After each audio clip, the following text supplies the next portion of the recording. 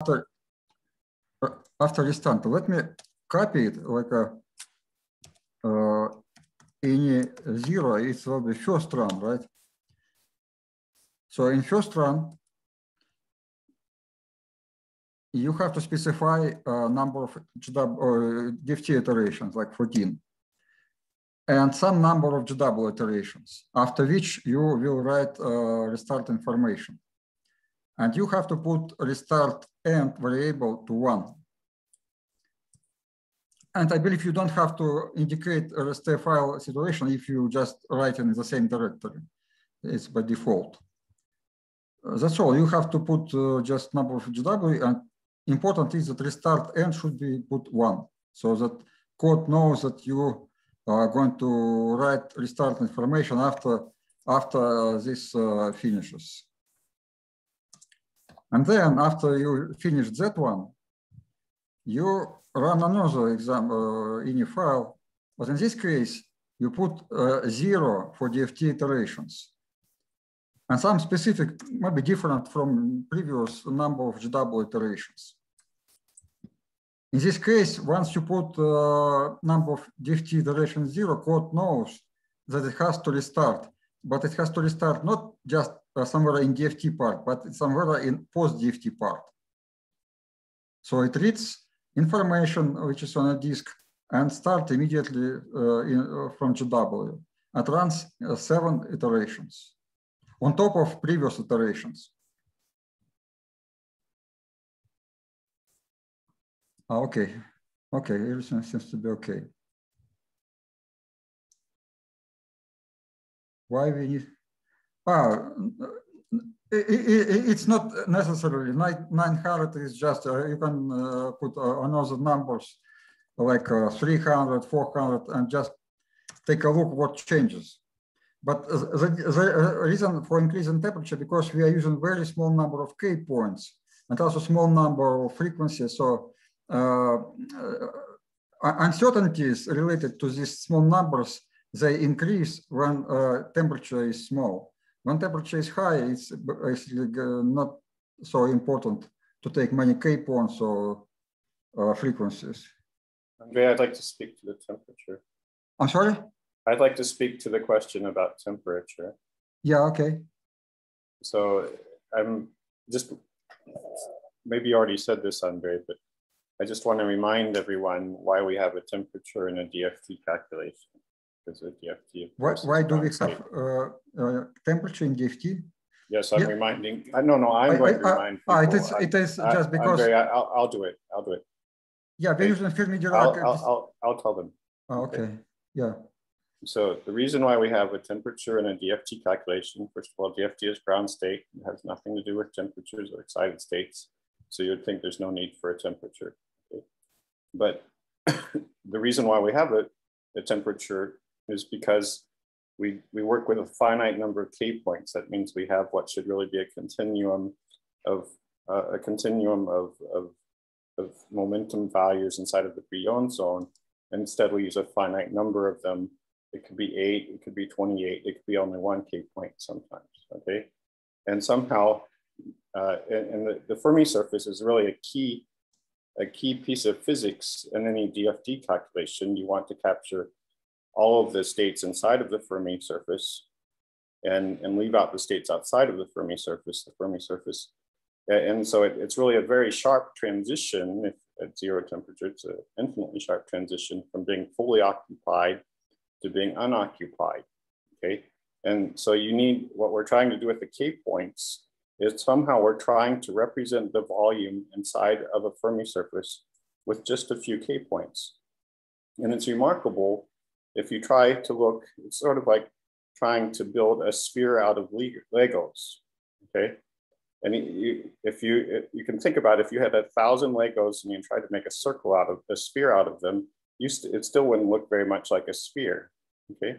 But hmm. usually we're actually not using a thousand K points. We're using more like eight or 30, and you can imagine trying to build a sphere out of eight or 20 Legos, you'd get something that looks nothing like a sphere. So yeah, yeah. what we do is we blur the surface of the, of the, of the, of the Legos. We smooth it, we blur them out, we smooth them out, And that's what the temperature is for. The temperature is a blurring parameter. Okay, and it, it allows us to compensate for the fact that we're using only a few K points. That's why we do it. Yeah, right. Uh, yeah, actually, it is more important for metals because uh, in insulators yeah. we basically don't have any Fermi surface. So, yeah, it's a lot more important uh, for metals. Yeah. It's it's a, it's for metals mostly, not yeah. insulators. Yeah, thank you, uh, Vincent. I have some question. Um, so the trigger to restart is setting. Uh, it, yeah, that's right. Yeah, to trigger restart for for uh, for post DFT runs, not for DFT itself. Uh, for post DFT runs. For DFT, for DFT itself, you have to indicate how many DFT iterations you're going to do next step. So it's for post DFT. Uh, how to move all the output files to the output folder while running the executable. Uh, no, no, I'm never doing a, any move of the files during the running. Uh, I did it manually after I finished the calculation. I moved all files into output folder, just uh, moving uh, manually. Is the temperature? Yeah, temperature is in Kelvin. Yeah, right.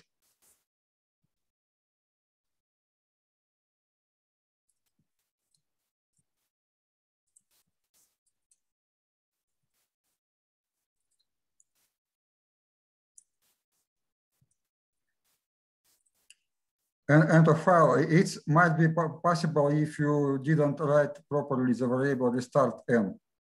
Make sure that uh, this variable is uh, written properly. So it means that you don't have probably this file.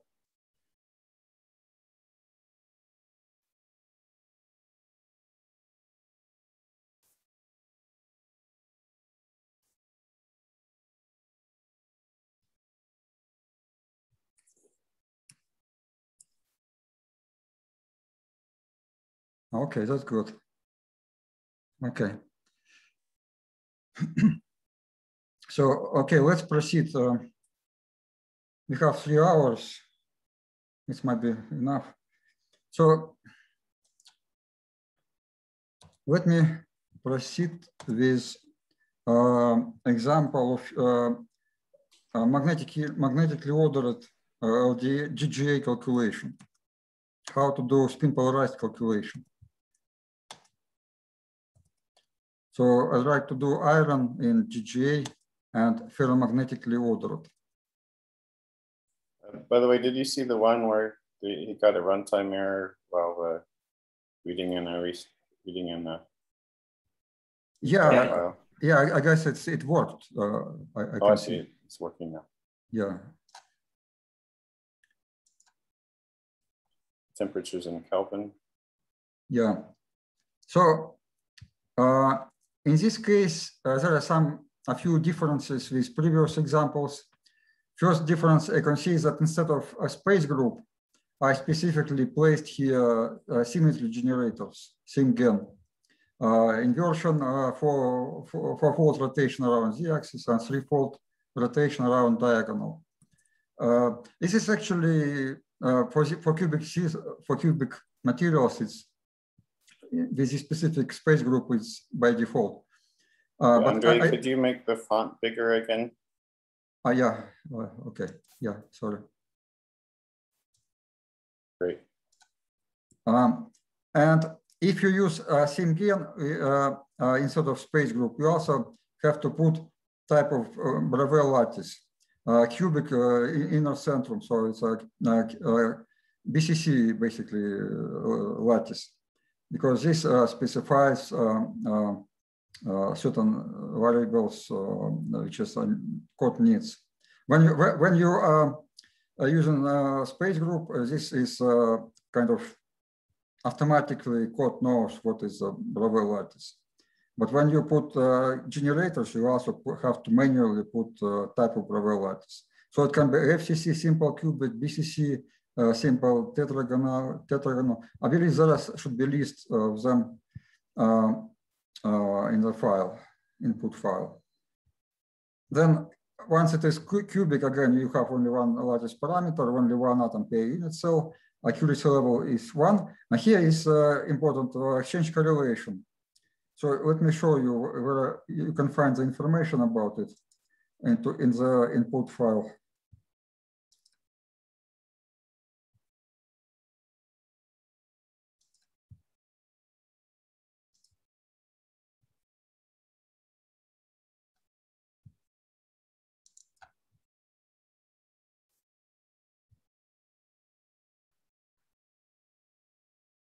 So um,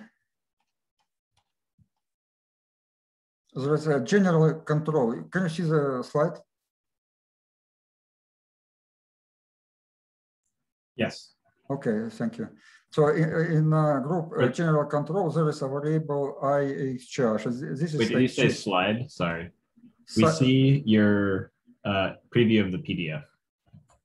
This is PDF, right? Yeah, okay. Yeah, so uh, IEXCH, uh, this controls the exchange correlation potential. So specify LDA parameterization.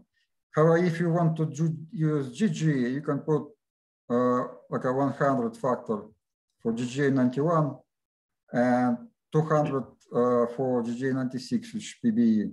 I don't think we're seeing what you're seeing. We're just seeing the first page of the input variable document. Ah, so it, it is not somehow. So, ah, okay, maybe I, I just using like a, if I press the variable jumps usually to the, so this jumps doesn't reflect on your screen. Yeah, we're not seeing the variable explanation. We're Ah, okay, let me see. content. Let me, content. let me put explicitly like, a, can you see movement of the screen? No. No, it's just this. Yeah, we're just seeing your file browser, I think. Uh, I think you need to double click on the document and bring it up in a viewer. You can't leave it in the file browser like that. Uh, just inside of this document, right? Click on what? Double click on the icon in the file browser and it should bring up the file in another in another viewer. Most probably the screen share is paused. Yeah, try resharing. Yeah, stop Okay. sharing.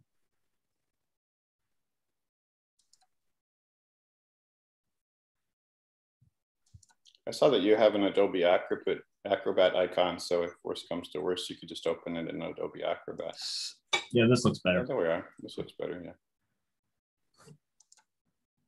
So can you see movement now?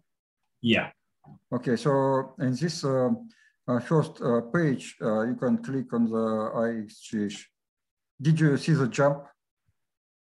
It jumped into this page. Okay, so uh, this variable controls exchange correlation uh, potential. Um, first digit, if it is like a 100, then it is GJ91. If it is 200, then GJ96, which PBE. And the uh, last digit is uh, for LDA part. And there is some description of which one. Usually I use uh, a five, which is page one from this PRB paper. So if you put the, uh, let me stop it and go back.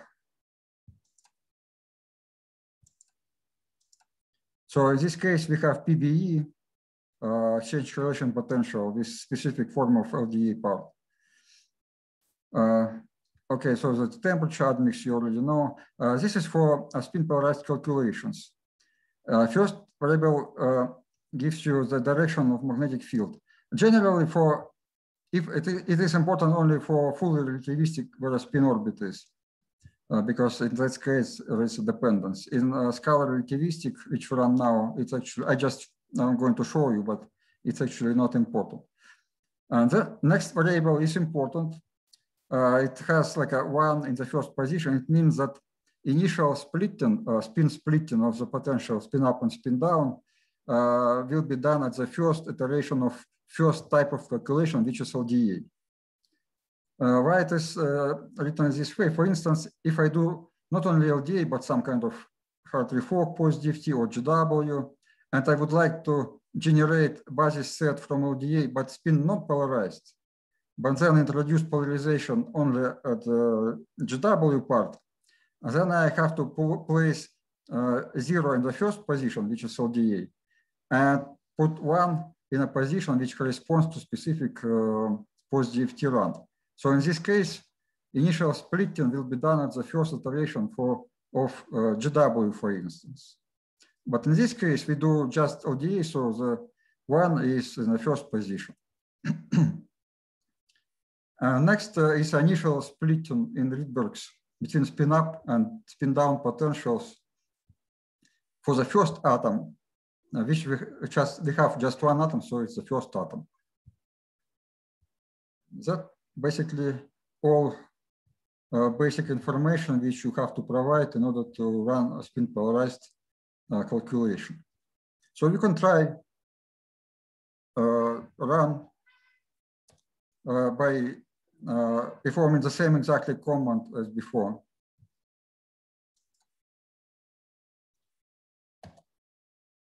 But I uh, jump into output. Um, for instance, uh, what is new here? I will talk. Uh, okay, maybe this one is interesting. Uh, this is a new file, representation error. Uh, what it is? In, inside uh, Muffin we have some uh, linear combination of functions for every orbital momentum.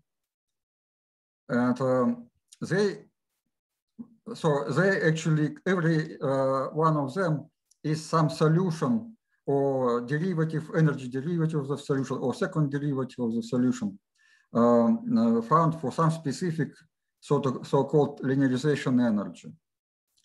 Which means that if we look at the solution of radial equation for this specific energy, we of course have exact solution.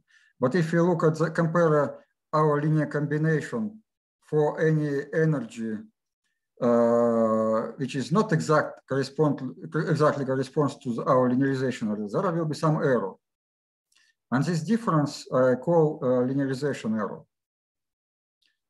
So for instance, when we take some specific orbital momentum here, like orbital momentum, uh, uh I believe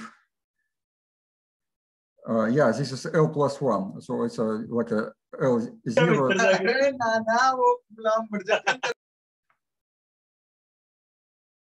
so this is uh, linearization error as a function of energy uh, for different orbital momentums. Are zero, one, two, three, four, five. Usually it is pretty good around zero because we mostly concentrate, you see this uh, very small linearization error because actually our augmentation and our most important part of spectrum is around chemical potential. But when we go away, uh, as you see, error increases.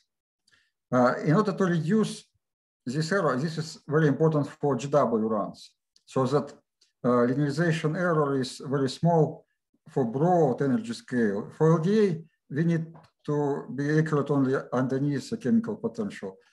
Uh, but for GW, it's important to have also uh, well-presented uh, excited states. So in order to reduce this error, we have to increase number of different linearization centers for every orbital momentum when we're looking for improvements. So this file might be interesting. When we check in the accuracy. Another file uh, here explicitly you can see uh, the density of states uh, resolved uh, with respect to the k points down and up. So two files for spin up and spin down. And uh, this uh, file actually combines. So in order to uh, place eigenvalues for bands, I put all energies together, spin up and spin down, and then sort order them in, according to increase, increase so that this will show you precisely if we have band gap, then it will be some of the band completely minus, all minus, some of them all plus. But this is a metal, so you can see that uh, there's some uh, bands where some negative, some positive, so it is a metal. Um, when you look at the partial density of states, again, you, you can uh, you can see there are spin uh, uh, down, uh, which I specifically put uh, minus uh, sign. So SPDF and spin up uh, SPDF. So it may be useful when you plot them like uh, in, in the same graph, but spin up is up some certain zero and uh, spin down uh, below zero. So let me know if there are some problems with running this file, if uh, anybody has a problem.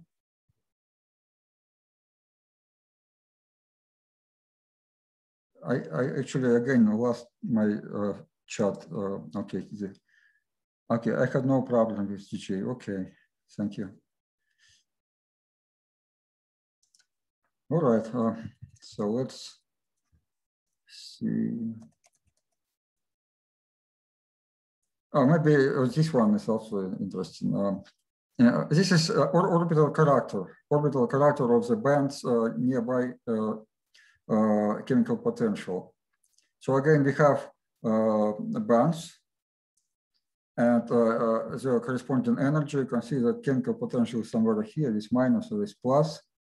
And what is here is like an atom, orbital momentum, projection, um, the element, uh, chemi chemical symbol of the element, and uh, uh, orbital cubic harmonics. So there's a spherical harmonics and p d orbitals. you can see, for instance, that upper for this k G gamma point, the upper valence band is 94% from XZ, for instance. Uh, lowest conduction band is altogether from uh, this kind of uh, d orbital and so on. So it's sometimes it's interesting to look what uh, orbital characters correspond to specific bands. Uh, it's, it's called a bands uh, chart. And this file actually presents for any kind of calculation. So in this case would be extension, not DFT, but a quasi-particle or GW or something else. why band numbers are starting from here? Ah, it's because there's no space uh, for lower bands, so just because of this. Uh, of course, there are some bands here, but I, I put like a one, two, three, four, five, six, seven, eight, nine, ten, eleven uh, bands so that it was not too big.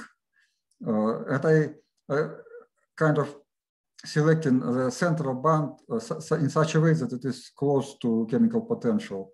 So we have some bands below chemical potential and some bands um, above chemical potential.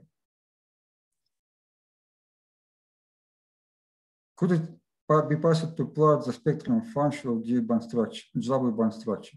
Uh, spectrum function is a function of energy, yes, of course. But band structure, as I said before, I didn't uh, implement interpolation yet. So it, uh, it probably will be going uh, to be present, but later. But spectrum function, yes, of course, spectrum function is explicitly uh, in GW calculations uh, is, uh, uh, for instance, this one, GW DOS, but it is actually spectral function. Uh, spin up, spin down. If it is not spin polarized calculations, they are similar. And total. Uh, the only thing that when you plot this file, again, I would like to point it out, you have to take more k points uh, than in this example. Otherwise, you will have some kind of delta function like peaks if you take very small number of k points. Uh, is there an orbital specific PDOS file, like PDOS only for the, um, that's a good question. I believe uh, maybe, but Okay, let me, I believe there is uh, this option, but uh, about this uh, question, but this option has to be manually, um, manually provided in input file. But right now I cannot remember what exactly is. Um, I have to, I, I will, uh, uh, so where, where I should write this answer? In uh, chat or Slack or somewhere? I mean, after the session. Slack. Okay, so this question, um, if it is possible to plot specific orbitally resolved PDOS, uh, I will take a look and if it is possible, I will provide information how to do that. Is there a preference for using primitive versus conventional unit cells? Uh, okay, um, preference. By default, by default, actually not by default, but it's it's so, so implemented that uh, lattice parameters which you provide in input file correspond to conventional unit cells. Essentially, it's the same like uh, in uh, CIF files. Usually it is provided conventional unit cell. But uh, based on the information on space group, uh, code actually transform, transforms, if it is necessary, uh, conventional unit cell into primitive. Like for instance, FCC uh, would be derived from a simple cubic or, or any other, like a uh, body-centered tetragonal will be uh, obtained from a simple tetragonal. It depends on space group. Okay. So uh, I think we finished with uh, iron. I, I would like to show a little bit more about iron. So um, I need to write a little bit somewhere, maybe explicitly here.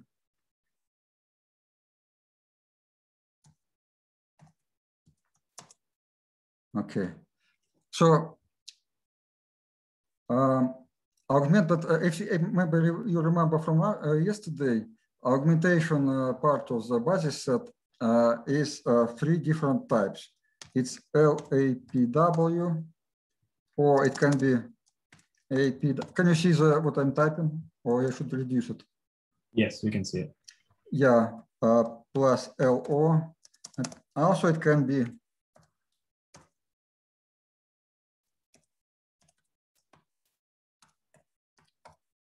uh, it's a progressively more uh, accurate uh, augmentation type of basis set. So this is standard LAPW basis set, and then APW, APW plus local orbital. And then the same plus so-called high energy, uh, high derivative local orbital. Essentially, it adds a second derivative uh, as independent dependent basis uh, function into this.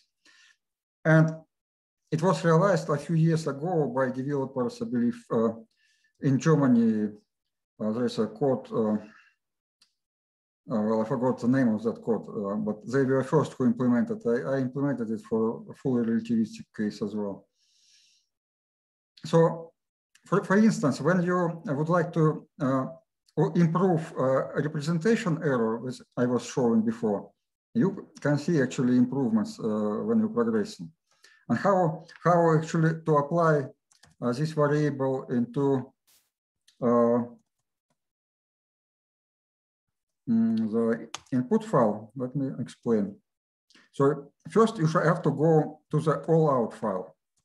And somewhere in the end of uh, default variables, there is such a place like this, which explains what kind of uh, radial functions were used for every orbital momentum for iron in this case.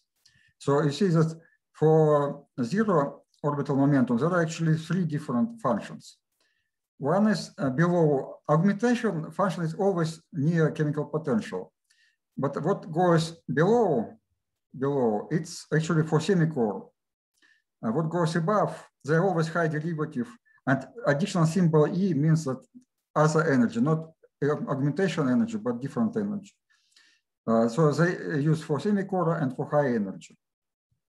Then for orbital momentum one, you have some semicore function and augmentation of this kind. Uh, for D, you have uh, augmentation and high energy. And for the uh, functions like orbital momentum higher than two, LPW for augmentation functions. Uh, this particular choice depends on the accuracy level. So this, in this case, we have accuracy level one. So this is kind of uh, default, but you can change this default. In, in order to change a default, let me show you. For instance, if you would like to use instead of APW plus uh, LO, just LPW, you're doing the following thing. Your low, low augmentation, low augm variable explicitly LAPW. So even if your accuracy level is one, uh, which by default would result APW plus LO, you can change it uh, by explicitly writing LPW. Or if you would like to use another basis set, more accurate, uh, this one, you have to go and low augmentation, low augmentation, okay, I, I, forgot to explain. Uh, source orbitals which uh, in free atom has at least uh, have at least one electron, I call low orbitals. And uh, orbitals which in uh, free atom have zero electrons, they are high uh, orbitals. So for low orbitals augmentation function, you can put this symbol and for every low orbital augmentation function which, be, which be, you will be having this basis set. You can take a look at this in all out file, for instance. You see, augmentation function for L, P, and D is, uh, is uh, this kind. Because in iron, free atom has some electrons in uh, 0, 1, and 2, but not in 3. So this were changed. How it changes representation error.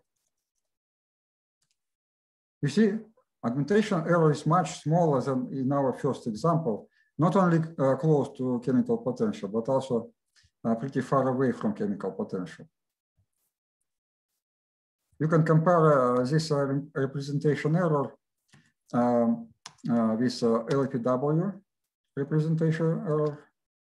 See, there are numbers a lot larger than zero, especially above Fermi level. And original basis set uh, is somewhere in the middle, or in, in, the middle. So default basis set is would be somewhere in the middle. So uh, I believe uh, we finished this iron. So if you have questions, please ask questions about this.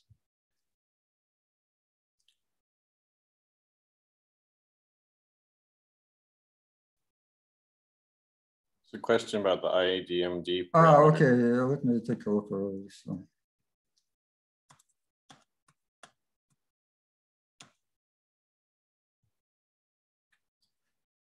Uh, okay, uh, this is uh, just a choice of the how uh, linearization error, uh, uh, linearization energy is selected. If it is zero, it is selected as a center mass of the occupied band. Uh, it's kind of old style uh, choice of linearization error. If it is one, then it is uh, corresponds to specific logarithmic derivative and it changes depending on this specific logarithmic derivative. Logarithmic derivative is defined by this potential uh, parameter. know, I believe it should be somewhere de definition of this par parameter. Let me stop and, uh, and show the this particular variable. Can you see the file? And movement? Yeah. Okay, thank you. So uh, this uh, variable should be somewhere here. Yeah, PTNL. Yeah, this is the definition, poten potential parameter. So this parameter which you, you saw there is a principal quantum uh, number plus one half and minus arctangles of logarithmic derivative divided by pi. Uh, essentially, if, if, you look at this uh, expression, you will see that uh, integer part of this number is always corresponds to this because this is between uh, zero and one. And uh, depending on the value of logarithmic derivative, it will be close to the number or close to the next number. And this is a kind of convenient way to define a logarithmic derivative. I believe. Okay. So uh, that uh, original question, IDMD, ah, it's here actually. Yeah. So for given a center of the mass, for given potential parameter, and there are some other options. Uh, I actually never use them, but they are still there. Maybe this one is important, uh, the three. Uh, if you have very uh, low energy state, which you which normally would be a core state, uh, but you would like it to be included in valence state by some reason, uh, you can put number three there. it means that it's totally bound solution for deep energies. So that's sometimes it's useful, uh, number three.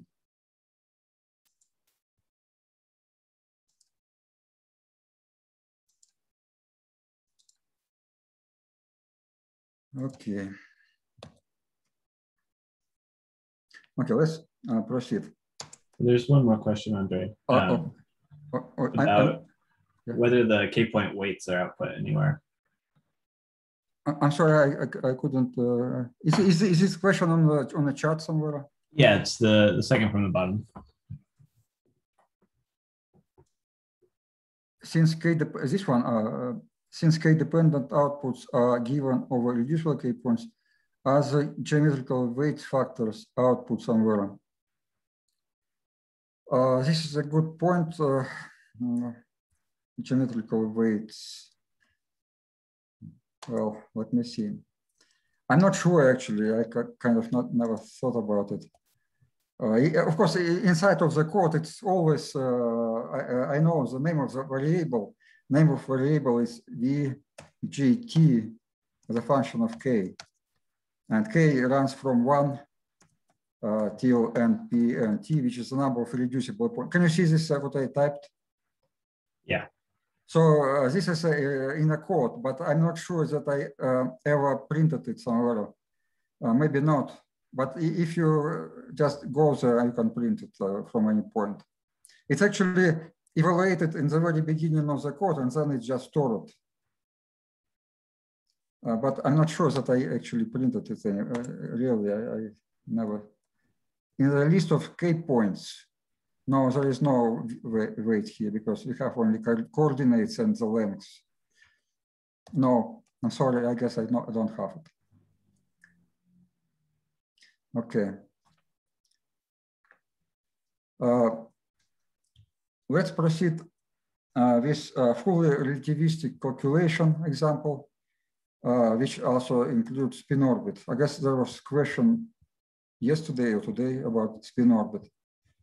Uh, plutonium, uh, LDA calculation of plutonium.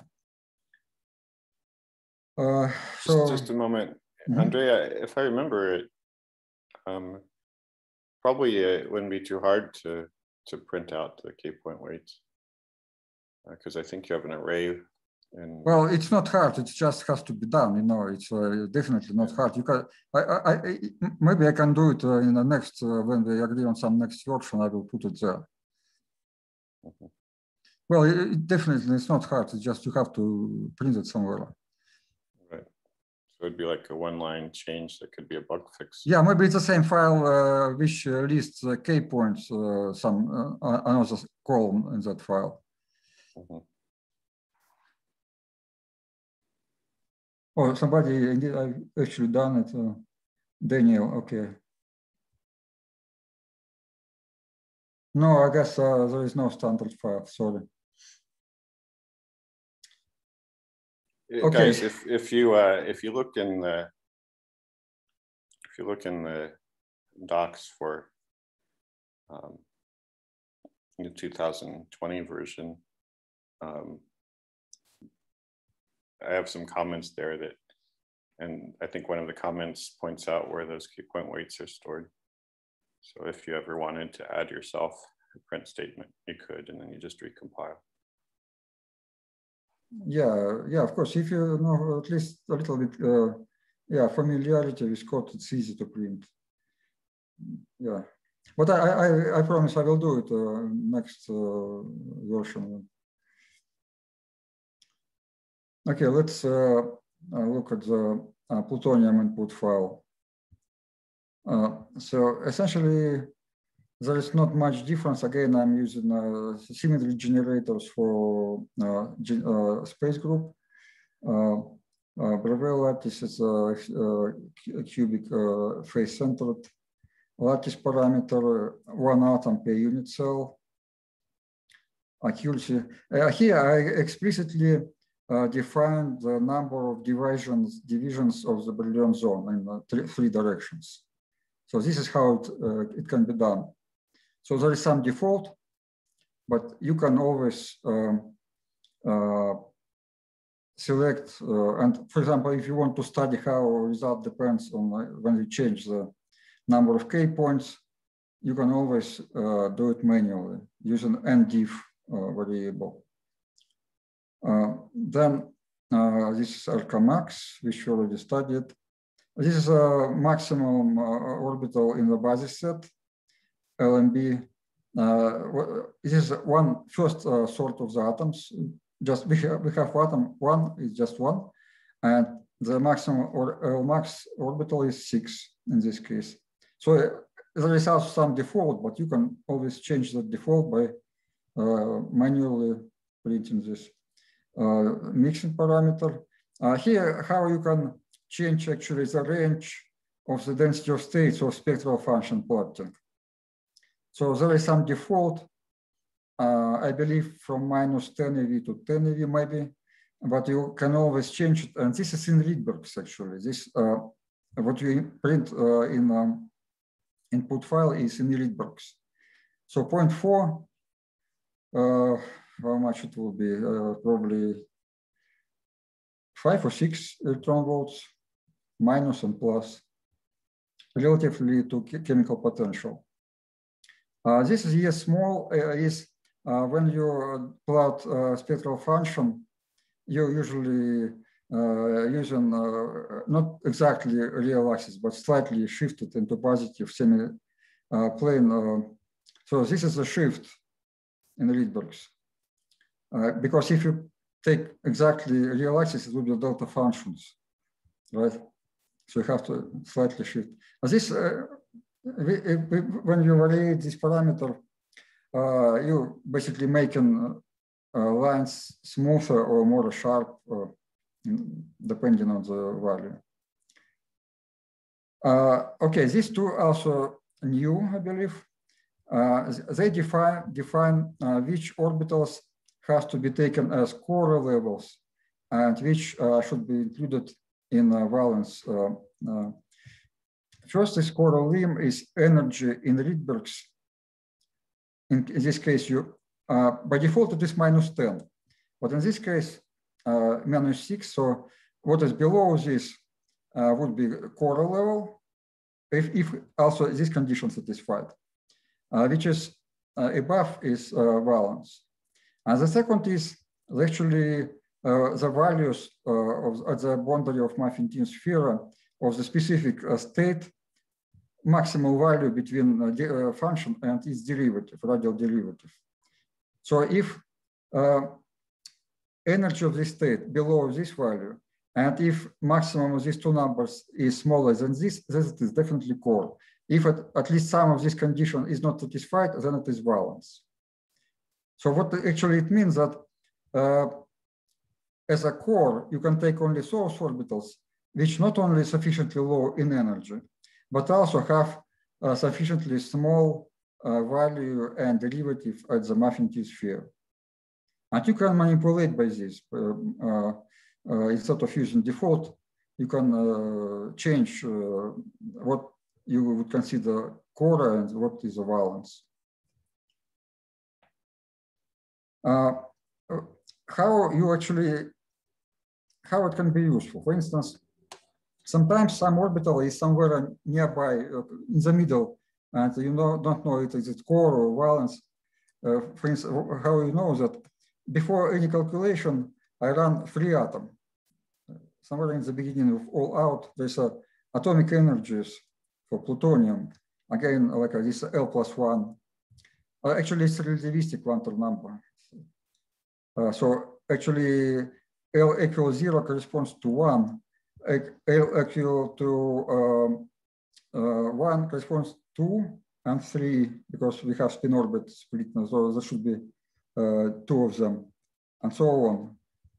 And um, we have energies and we have uh, values and derivative of the functions at the boundary of muffin-tin sphere. You see that for very deep uh, levels, uh, it's of course zeros, but some at some point you have some non-zeros. Uh, for, for instance, um, let me take some boundary. for instance, this one, you see, it has minus eight Rydbergs uh, normally, it would be probably a core state, but if you look at the values, they are not so small. Okay, that's so small. Small, I would consider maybe this one is sufficiently small. This is still noticeable. So depending on that values which you provided in input file, this orbital could be core or valence, depending on what you would like it to be. Uh, what so did I miss anything in the input file? Yeah, we finished. So you uh, probably can run, if you would like, just run this file and make sure that it runs okay. Uh, why I, I forgot, uh, sorry. Uh, so uh, this is fully relativistic calculation because uh, the nuclear charge of this element is 94. And maybe I already mentioned that if nuclear charge is larger than 70, then by default, uh, you are using full relativistic calculation to spin orbit. But there is a variable. Let me show you this variable.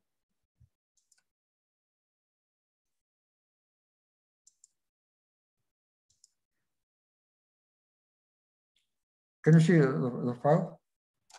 Yes. Okay, thank you. So again, um, in uh, general control, there is a variable, variable IRL. So this is, uh, so when you do manual calculation, manual manipulation, you can put zero for non-relativistic, one for scalar relativistic, and two for full relativistic.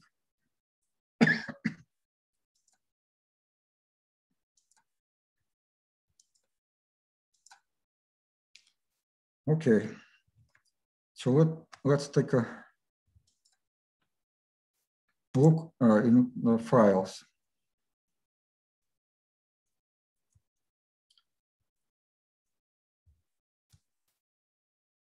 So here, um, uh, when you put a look at the Bands character, unfortunately, I didn't put any because it's kind of, I didn't find information. Uh, so it's uh, written like an atom, uh, orbital momentum, and projection without uh, any specific, like in uh, non-relativistic cases, it was like x, y, uh, x, y, z, and so on. But in the relativistic cases, we have some linear combination of spin orbit uh, functions, uh, which uh, I don't know how to represent graphically. But nevertheless, you can take a look what some specific states, mostly which orbital character corresponds, exactly like in uh, for instance, you see that 85% uh, L3 so also F states. oh,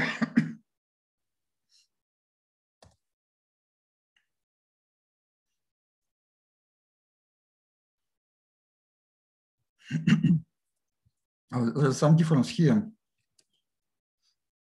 So, sorry, I have some issue. Um,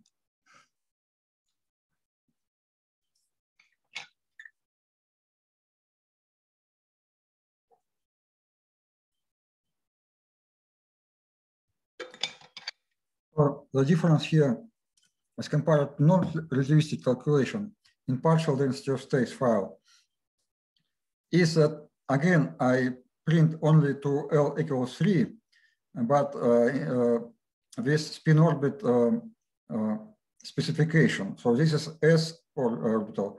This is a P one half, then P three halves, uh, D three half, D five halves, F5 halves and F7 halves. So they uh, um, separated according to spin orbit character. So that's only the difference. So when you plot, uh, for instance, uh, you would like to plot F orbitals, uh, you can specifically look where five half and where seven half. Uh, and this element, I believe, is uh, pretty much uh, around chemical potential. Five halves uh, about chemical potential, but seven halves is somewhere higher energy. Yeah, somewhere, yeah, high energy. So let me know if uh, you had some problems with this uh, running of this file.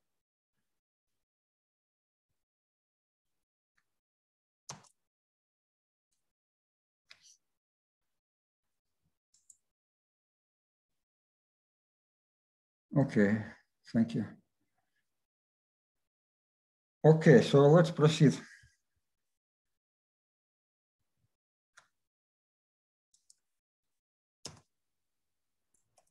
Uh, next example, I would like to show. Oh, there's one question, Andrey. Uh, okay. Which is about spin orbit in uh, GW. Is it possible to include spin orbit in GW? Yeah, right. Uh, exactly the same way. So exactly. So you, you are using the same exactly file, for instance, and then you put post DFT uh, one and uh, number of GW iterations, and it would be included. Spin orbit would be included. yeah, there is no difference in this respect with, uh, as compared uh, to DFT or GW. Uh, let me show how to run antiferromagnetic calculations. This is anti antiferromagnetic chromium, uh, which is um, uh, like a simple, uh, simple cubic lattice with two atoms and they are aligned, moments aligned antiferromagnetically. So one of in a zero position and another is in the center of the cube.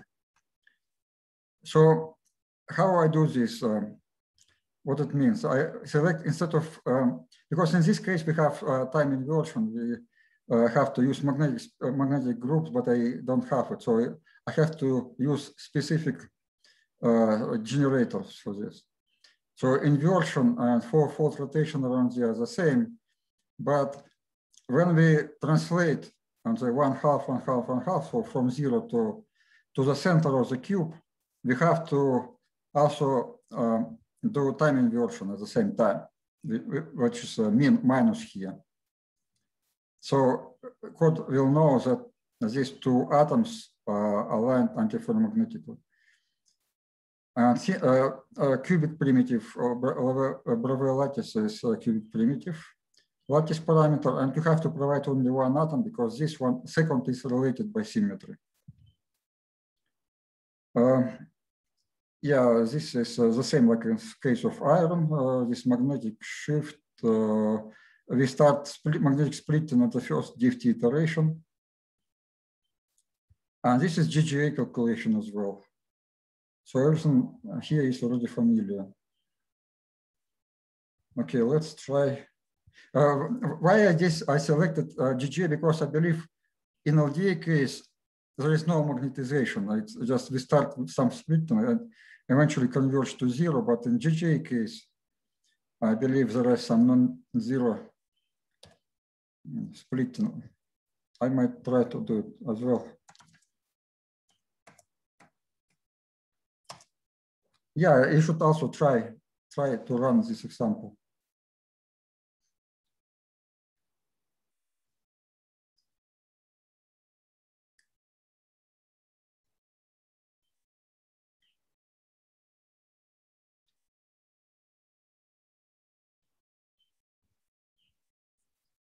And let me know if there are some issues.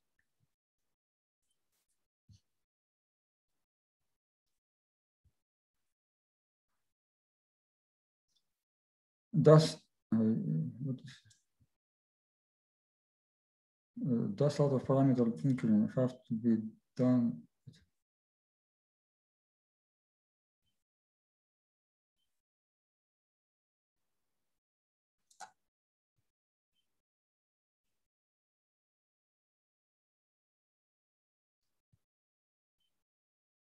um,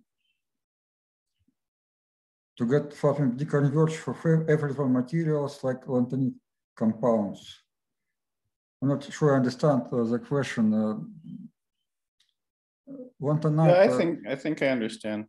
yeah, uh, could you explain, uh, please? Uh, Like to get an acceptable uh, uh, solution for a lan- a lanthanide, um, do you have to um, change the, say, the IDMD or the other parameters that control the calculation uh, very carefully? Or, I mean, do you have to change, it- does it depend very sensitively on what you put in the INI file? Well, I believe that uh, in terms of uh, choice of IDMD, I don't think there are some great difference between F electrons or other electrons. Actually, F electron uh, bands, they are often more narrow than, for instance, S band. Yeah, So I mean, I- the question is more general than IDMD. It- It's really talking about the whole INI file. No, I, I, I don't think I have any speci- specific documentation for best practices. Uh, I actually didn't run so many materials to summarize it. I mostly developing uh, stuff. So no, I don't have specific documentation for best practices. And the other, the other side of the question is, is it very sensitive to what you put in the INI file? If you, do you have to, can you just uh, use the default parameters and you'll get a good, Well, yeah, you can use default. I, I'm trying to teach you that uh, certain uh, variables which you can uh, manually change from default parameters so that you can try uh, how it is influencing. Uh, so not necessarily during the school, but maybe after school by just uh, specific question, other specific question.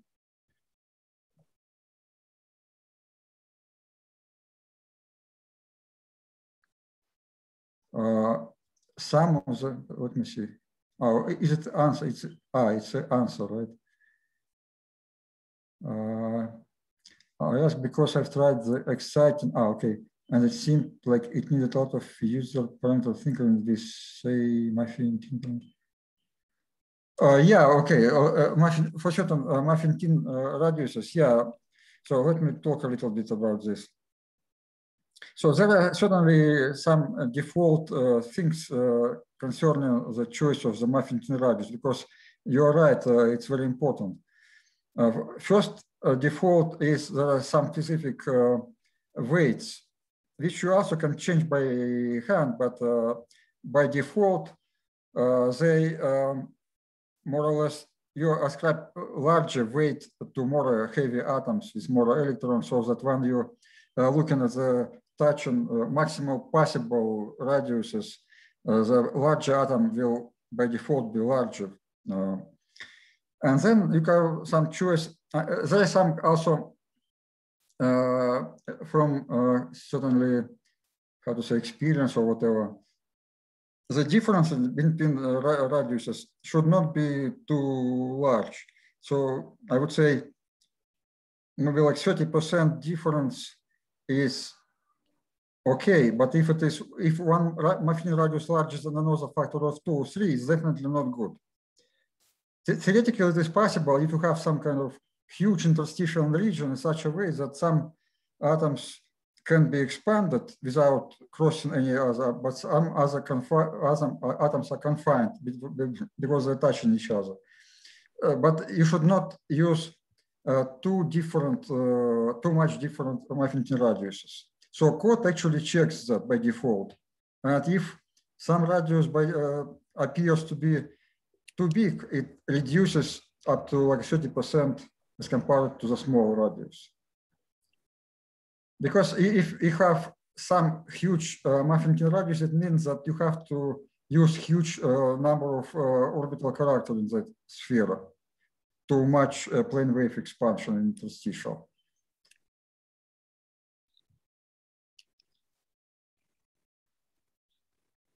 So, okay, I guess, I, Just I one guess, other question, Andrey. um, which I'll, I'll put down at the bottom of the chat again for you. Uh, would it be possible to put both chromium atom without the symmetry operation? Would this increase? Yeah, I believe it's, it would increase uh, slightly. Yeah. Yeah, because yeah, certainly when we have uh, uh, increased number of symmetry operations, for instance, number of K points is smaller than if we don't uh, have certain symmetry operations. And LDA run uh, basically depends on the number of K points the time. Yeah, you can put uh, both atoms uh, as non uh, uh, equivalent, but you, in this case, you will have to change symmetry generators and you have to put coordinate second of atom explicitly in the input file.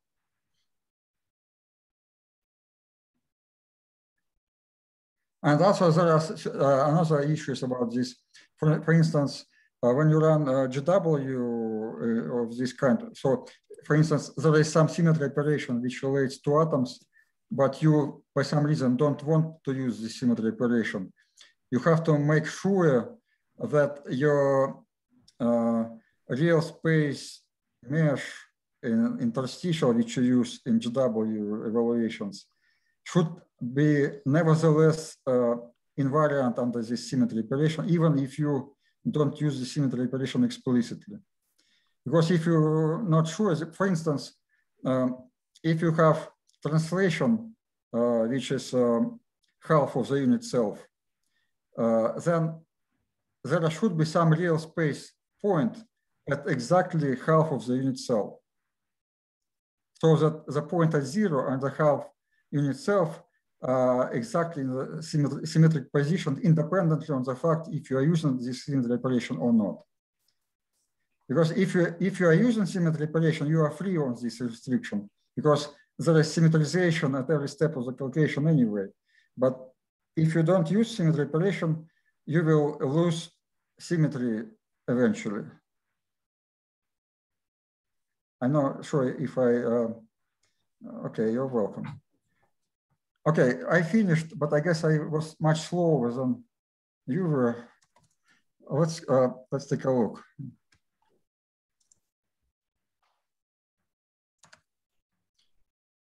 So in my case, I ran it in uh, 59 seconds. I believe you probably did it twice faster. And uh, if you look at this screen, you can see that uh, two atoms have opposite uh, magnetic moments, like 118. Uh, so that's uh, anti-ferromagnetic moments. There is no yet exactly convergent, but uh, yeah, it's more or less. You probably should take in more iterations. Okay, so this is uh, anti-ferromagnetic case. So if you have questions, please ask.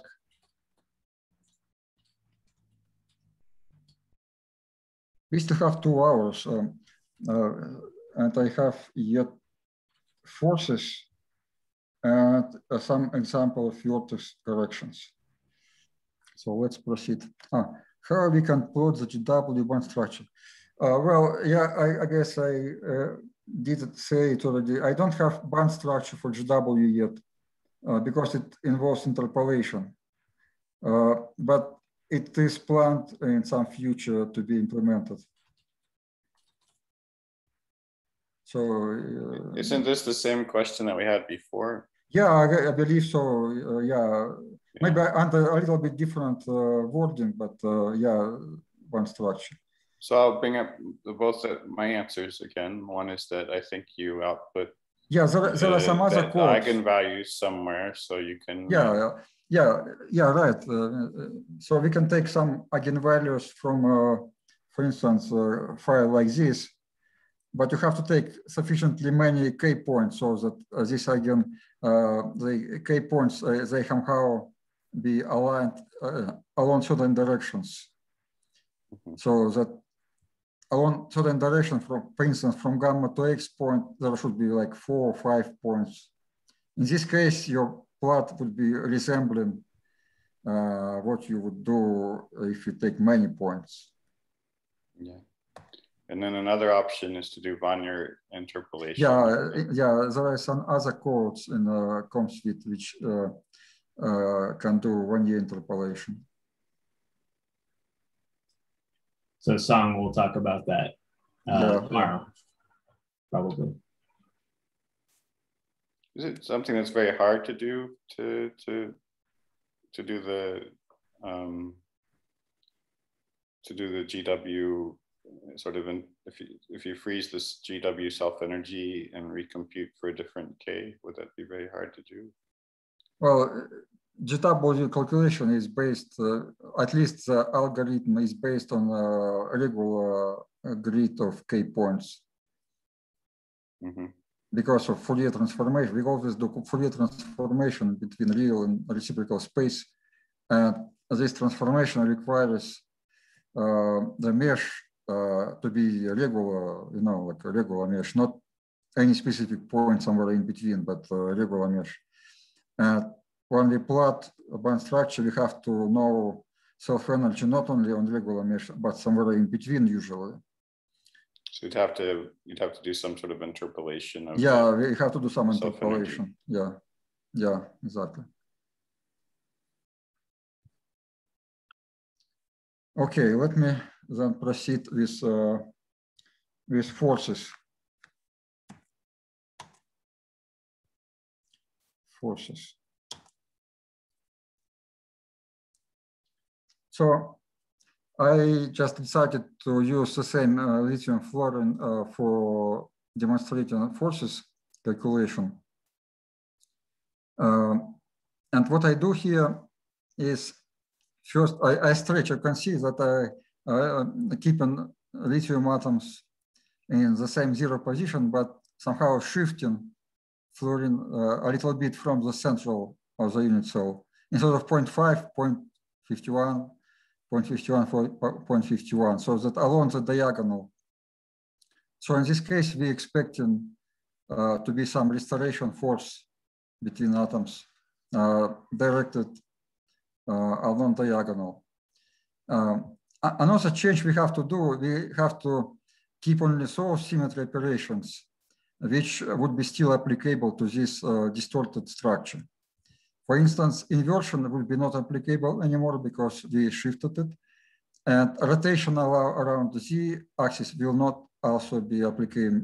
But rotation around diagonal uh, still would be there because we shifted the atom from diagonal. Let me first go to the original without forces file and show where forces, they are always calculated at the last DFT iteration. But if we didn't shift atoms, uh, they are zero, so there's a forces in the very end of that file. For instance, uh, total force on atoms, lithium and fluorine, uh, says zero. And there are some also components, uh, so Hellmann-Feynman, Pulay, valence core, and some other components. You can read uh, some paper uh, about these components. Uh, but important probably to look at the total. So now we go back to the forces. Um,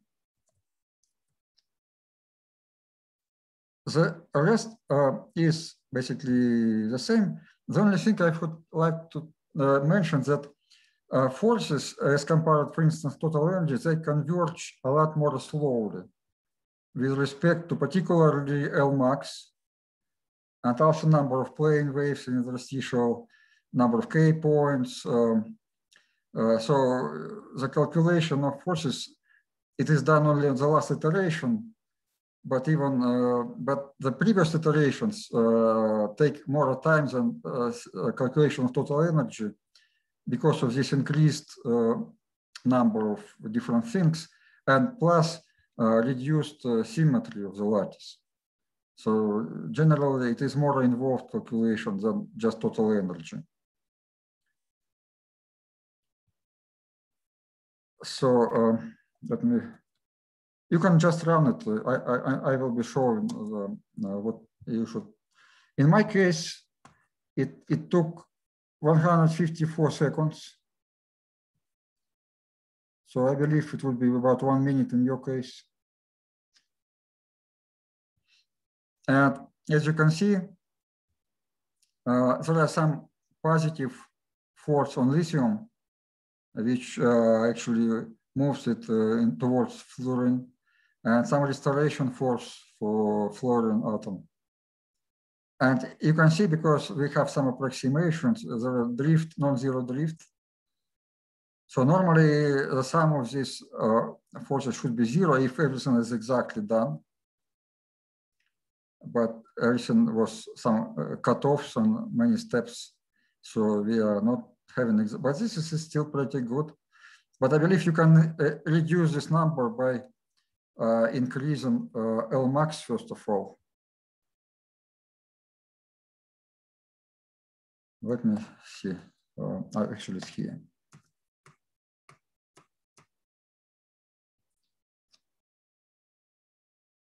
Yeah, you can, uh, you see the much, much of uh, density, for instance, that's the boundary muffin-tin. So it's a muffin-tin part and interstitial part.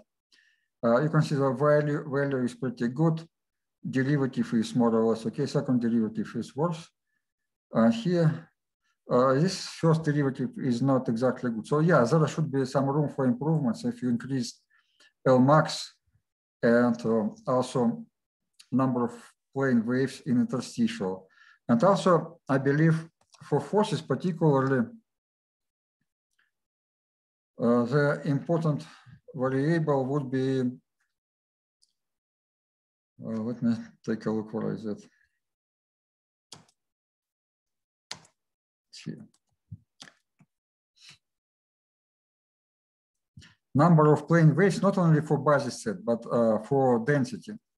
Why it is so? Because uh, uh, this is it is defined by uh, Gmax rho fact factor, which uh, means that for density by default we take maximum Gmax interstitial twice larger than Gmax for basis set, LPW basis set. Uh, but for forces, sometimes uh, this number should be taken more than two. Uh, why it is so? Because because of exchange correlation potential. This exchange correlation potential is not linear function in a sense, in a sense that uh, it depends on density non-linearly. What we do during the calculation, we take plane wave expansion of the uh, basis functions with some coefficients, construct density again uh, in a reciprocal space as a function of uh, sum of uh, plane waves, and then we evaluate the sum uh, for all uh, points in real, uh, regular real space mesh and interstitial. So to get density as a function of a real space argument. Once we have this density as a function of real space argument, we just apply exchange correlation formulas to it and get uh, exchange correlation potential for every point in real space. And then we transform this uh, correlation potential back to reciprocal space. Uh, but the fact that exchange correlation potential is not linear actually requires uh, to use uh, a lot of uh, real space meshes or, or in, in, real reciprocal space number of plane waves to converge. And this particular fact is important for forces more than for total energy.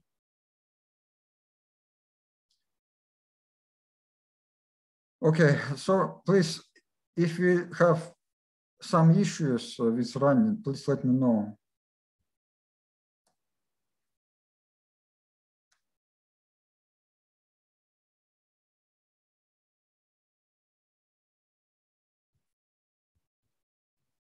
Okay, I guess uh, no issues. Okay, let me uh, go now to the vertex correction part. This is most time consuming and we uh, will be able to run only very simplified example, uh, but in any case, I will talk a little bit uh, what is involved here. First of all, uh, as I mentioned maybe yesterday, in order to start um, a vertex corrected calculation, in this case, is psi, psi means first order vertex correction to polarizability and to self-energy.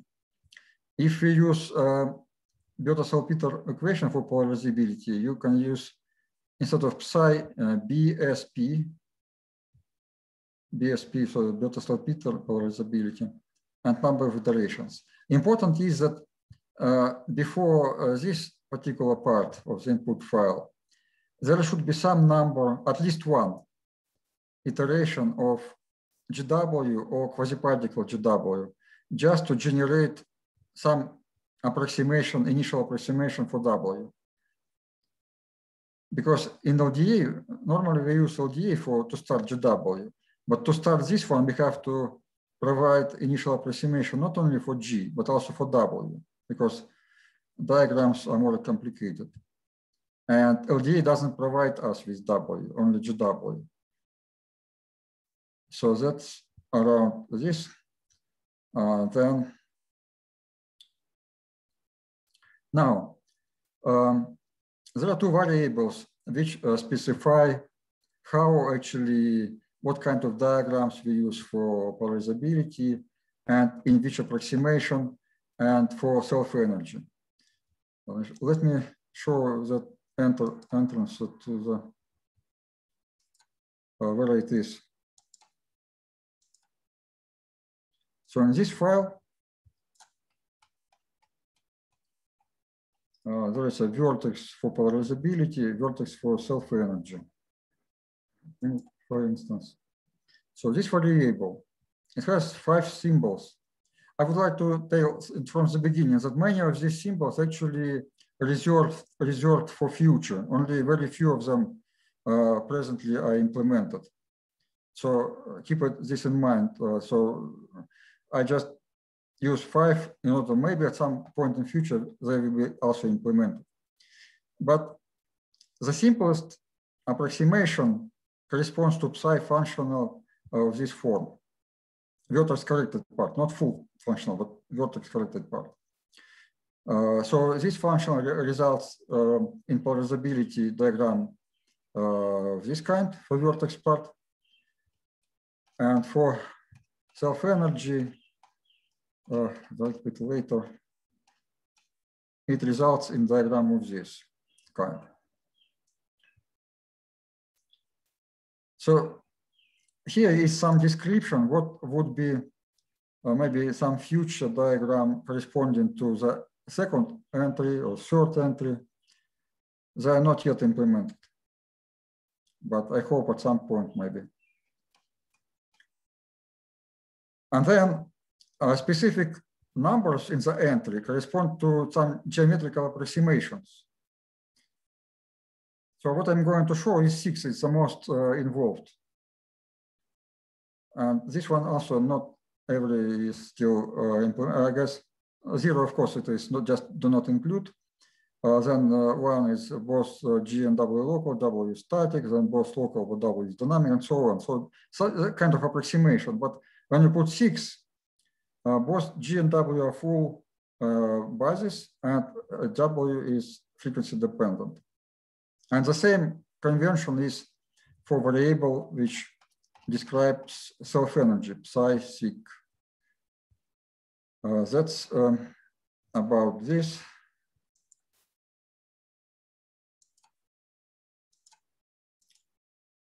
So these two variables, six, six. Another and uh, variables correlated. That's very important. As I was maybe br briefly mentioning yesterday, uh, during the evaluation of the diagrams, we switch uh, from reciprocal space to real space and back a few times.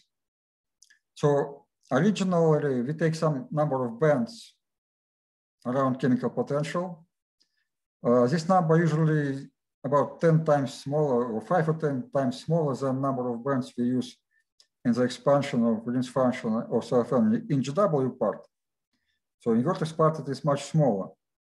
But then every band from this list, when you transform reciprocal to real space, has to be somehow represented in real space, right? So representation of the band state in real space means that we have to transform it into some linear combination of orbitals in muffin-tin, and we have to represent it in some real space mesh in the interstitial.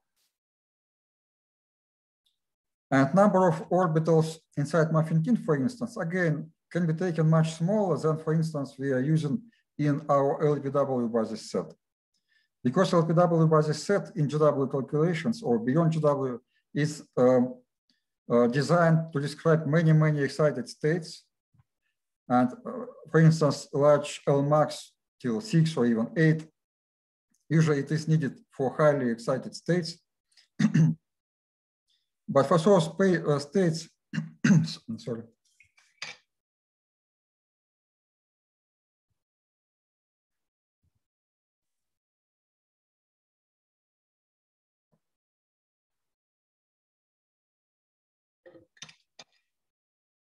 those states which are close to chemical potential, actually, as practice shows, we don't have to take a lot of orbital uh, orbitals inside muffin-tin, only most important uh, physically uh, orbitals, which we actually can select uh, looking uh, visually at the partial density of states. We look at the partial density of states and see which orbitals from every atom uh, slightly below chemical potential or slightly above. So essentially diagrams, uh, importance of orbital in diagram means that it should be close to Fermi level, so a lot of fluctuation of uh, electrons between uh, occupied and unoccupied states, so it should be close to Fermi level. So we can select orbitals, but we have to be careful because the cost of these calculations uh, is strongly depend, depend, dependent on the number of orbitals. Uh, for instance, uh, this is extremely simplified calculation. Uh, it means I took only s orbital from lithium and only s orbital from fluorine. Uh, this is s and zero. This is first atom, second atom. And number two, actually, uh, let me show what number two means. For instance, if you look at the pull-out file, uh, at the same place where we look at the uh, orbitals inside muffin-tin, second means that uh, for L0, you have to take second orbital, not first, but second, which is augmentation type. You see, correlated. A is not, S is, uh, C is correlated, and the same for fluorine atom. We take second, second s orbital for second atom, which is correlated. That's what um, these uh, two strings mean. So second orbital for L equals zero, first atom should be correlated. And also uh, second orbital for uh, zero L, second atom correlated. Uh, okay, I already did some calculations for this material and good calculation is if you take SP, not only S, but also P for lithium and SP and D for fluorine. This is a very well converged, converged calculation. When we take only S, we can demonstrate how to do that, but we are not converged. Next variable uh, is, uh, as I maybe mentioned, that division of the Brillouin zone for vertex part can be different from uh, GW part. But in this case, I'm using the same division, so 333 and 333. But generally it can be uh, smaller. The only requirement is that numbers here and here, this uh, should be divided exactly by any numbers. For example, if it is six by six by six, then here should be two by two by two or three by three by three order to exactly divide this because I'm using this in interpolation process. Another variable which specific for, for vertex corrected part is uh, we take in certain number of bands around chemical potential. Uh, this is a zero level. Uh, what does it mean that uh, first two bands I neglect? Uh, let me show how it is working. For instance, uh, we go uh, to the eigenvalues. This eigenvalues, for instance, for gamma point. you see, first two eigenvalues are pretty deep as the semicore levels, right? So I do not include them uh, in vertex part. Only beginning from this band, they should be included. Uh, and then by default, by default, uh, you, in order to count how many actually bands you include here, you just calculate how many orbitals inside muffin-tin plus certain number of additional orbitals, which you can again uh, select manually. Let me take a look. There should be vertex specific, yeah, vertex related variables. Uh, this is a list of default uh, parameters.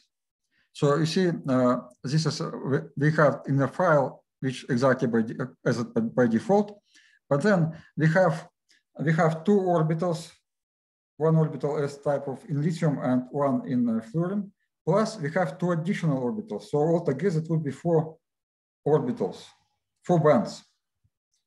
It means that for this particular case, uh, we will be using four bands uh, near chemical potential.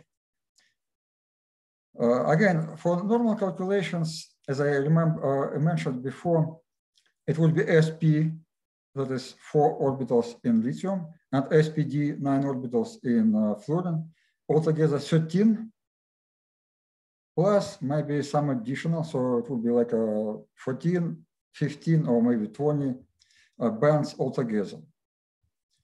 In GW part, we normally using more than 100 bands for this material. So uh, this is, yeah, I believe, uh, all most important information uh, how to start.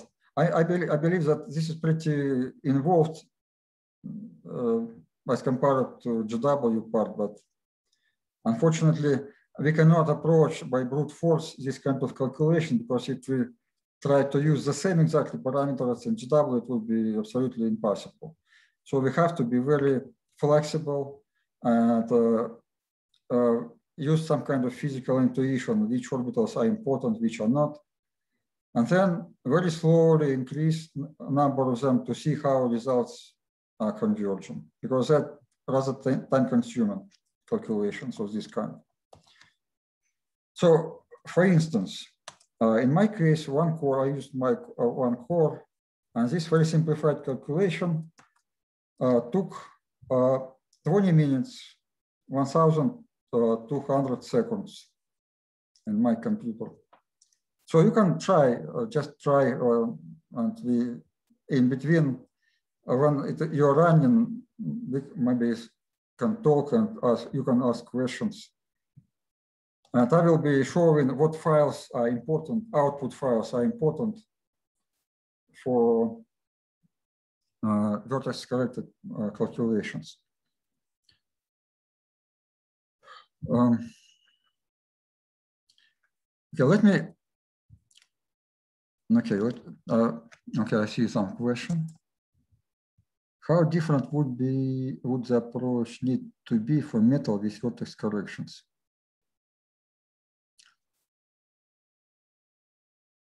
Well, I wouldn't say there is some specific difference uh, in input file but yeah, for metals, you have to be careful with the number of K points. Uh, for this material, it's pretty good result you can obtain with two by two by two for vertex part. But for metals, I believe you can should start at least three by three by three or better four by four by four for vertex part. This essentially most probably important difference between metal and insulator. Yeah, alkaline metals. Yeah, alkaline metals, that's exactly what I'm saying. I would recommend to use 4 by 4 by 4 for alkaline metals.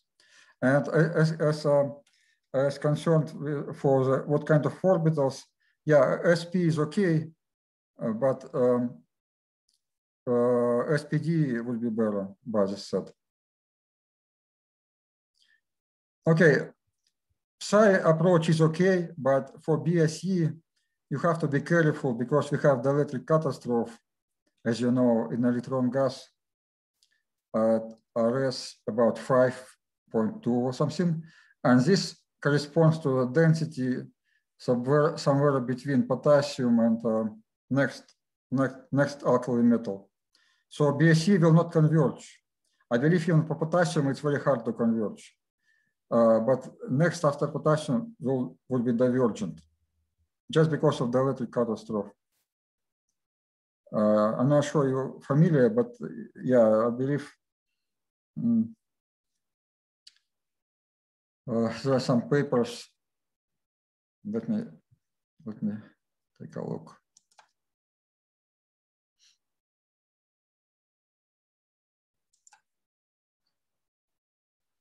We published with Gabi some paper about electron gas. Yeah, I, am going to find some. Uh, we published some paper. I believe there should be some references in that paper which can be useful for that.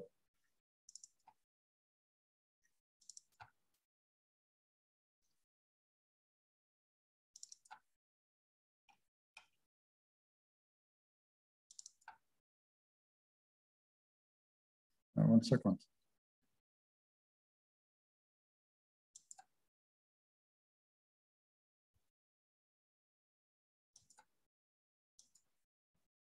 Mm -hmm.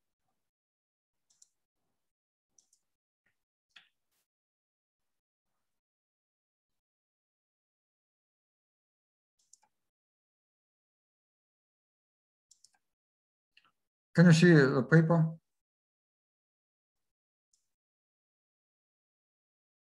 Yeah, so uh, a paper about electron gas.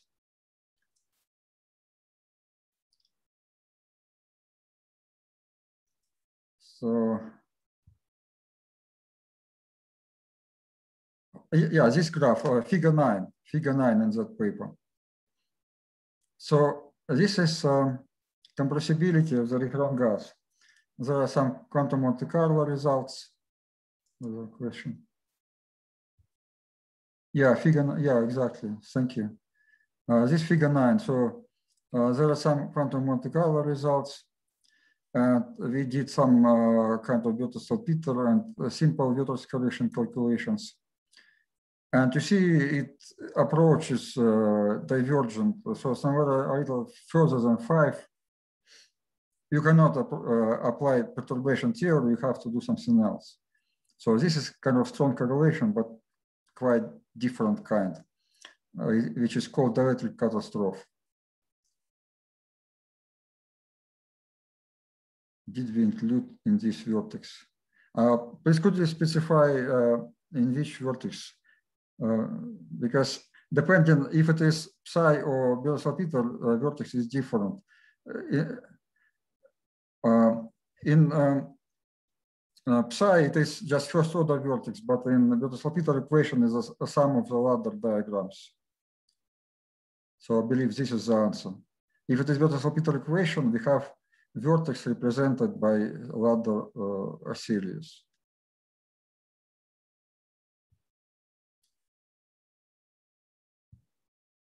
In the demonstration that we are running now, uh, well, I'm, I'm not sure what exactly, which demonstration. So in the, in the example that they're running on their virtual machines. Ah, uh, example is not Bethe-Salpeter equation. Example is uh, just first order vertex correction. Because uh, Bethe-Salpeter would be even more time consuming uh, uh, because every iteration of Bethe-Salpeter equation takes about the same time like just first order vertex correction. So if we take like a four or five terms in ladder formation it would be like a four four time uh, times uh, more time consuming. We are trying to run first order vertex correction.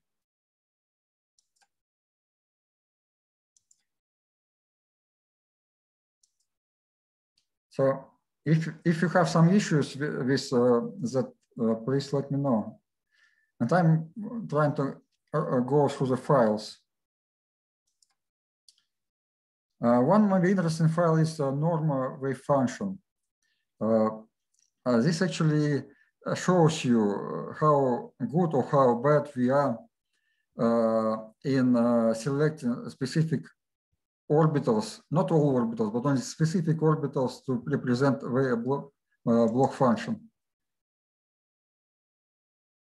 Second order, no, it's not implemented. It's very, uh, it's already rather complicated. First of all, second order vertex uh, it has not just one diagram, but six diagrams. Six diagrams for uh, self-energy and six for polarizability. And I believe it would be next level of the scalability. Uh, in scalability. For instance, present implementation is n to four, and quadratic in number of k points, but the next order will be cubic, at least I believe cubic in k points, and n to five uh, as compared uh, with respect to basis set size. And also it is uh, uh also in uh, frequent Matsubara frequencies, now it is quadratic, but it also would be cubic. So if you count all this, it would be probably factor of thousand or something or more. Uh, so I would say that uh, implementation of it at the same level of accuracy is not possible. If we taken some specific simplifications, maybe, but I didn't do it yet. I'm not sure that I will. Okay, uh, so this file is uh, showing a norm of the Bloch functions. So we started from the third, like and you see the fact that we neglected some like a p states or something means that norma for this state is very small. Instead of 100, instead of one, we have only 500. So we miss, obviously this is p state, uh, p state, because you see three functions and we are missing it. So this is uh, to check actually how good or how bad we are. And represented in presenting band states. Let me let me compare this file. I, I did uh, some calculation with slightly better by this uh, uh, uh, for two. Uh, I guess this file should be on the website, but not, I believe, on the. Um, so what is difference is that you see instead of only s orbitals, I uh, was using ASP for lithium and ASP uh, for fluorine. And in this case, the same file uh, has already much better. So you see it's already close to one, slightly larger. So yes, I guess, I guess if you increase, like I take d orbitals, would be even better. But generally, it is already very noticeable, some very close to one as well, some states. And this is, remember that it is just SP by basis set. Okay.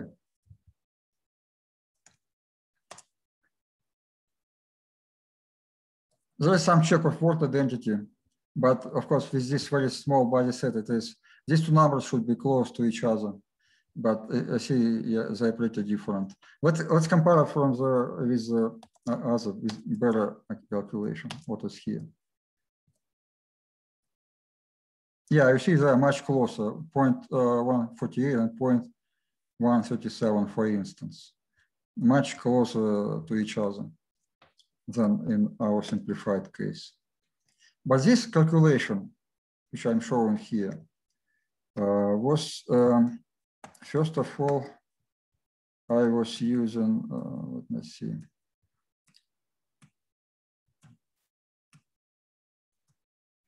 I was using uh, 64 cores this is the 64 cores. And uh, it took 900 seconds, or the 15 minutes, 15 minutes uh, for 64 cores. So it would be approximately, if you use two cores, like uh, 15 minutes by 30, seven hours or something. So it's too complicated. So let me know if you're having some issues. I don't have any questions yet. Uh, let's proceed with files. Um, density of states or spectral function. Okay, thank you, Daniel.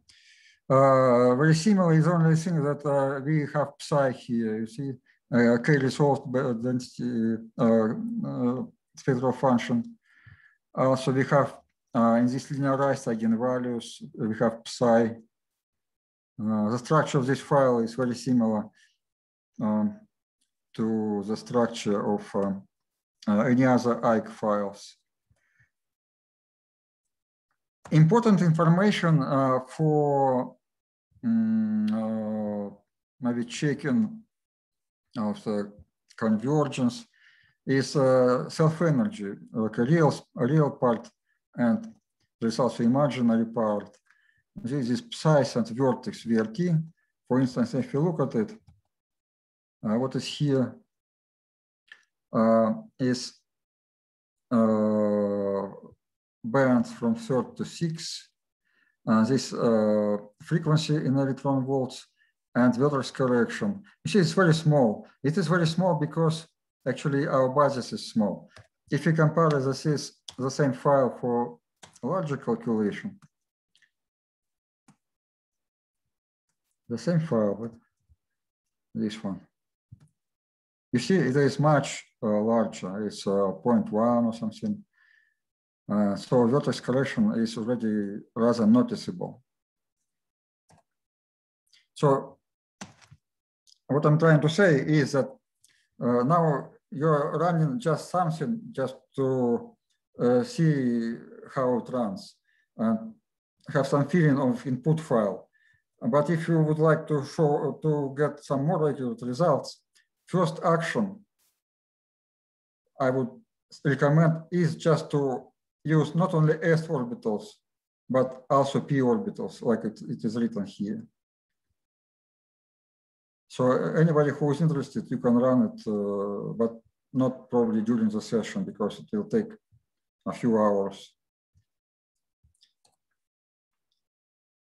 Yeah, so I run eight GW iterations and on top of it, uh, uh, six psi iterations.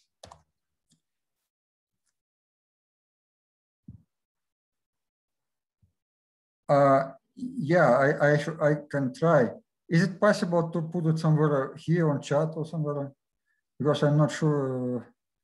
Uh, well, I, I will try at least on Slack uh, afterwards.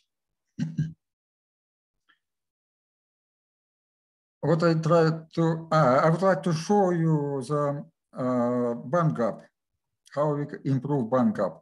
And this calculation is uh, good enough, not uh, with only s orbitals. Uh, we have to look at the Eik file, this one. For instance, you see again um, uh, is a gamma point, the maximum valence band and minimum of the conduction band. And if you add uh, these two numbers together, it would be, I would say, 14.7, which is pretty close to experimental 14.2. And if you remember uh, GW result, which is also here, for instance, in GW we had uh, like uh, 10, six, about six, slightly more than 16. So from 16 to 14.7, I believe it is pretty good even if we didn't do much work of the converged. So, um, so I will put input file, any file with uh, uh, larger parameters on Slack.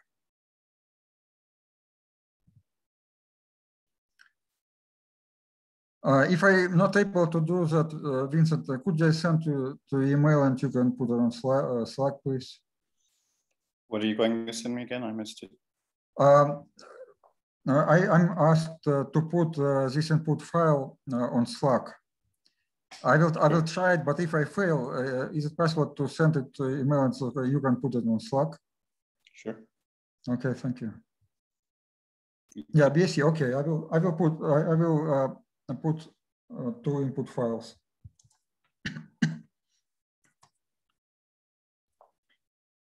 so a Salpeter example is here. Sorry.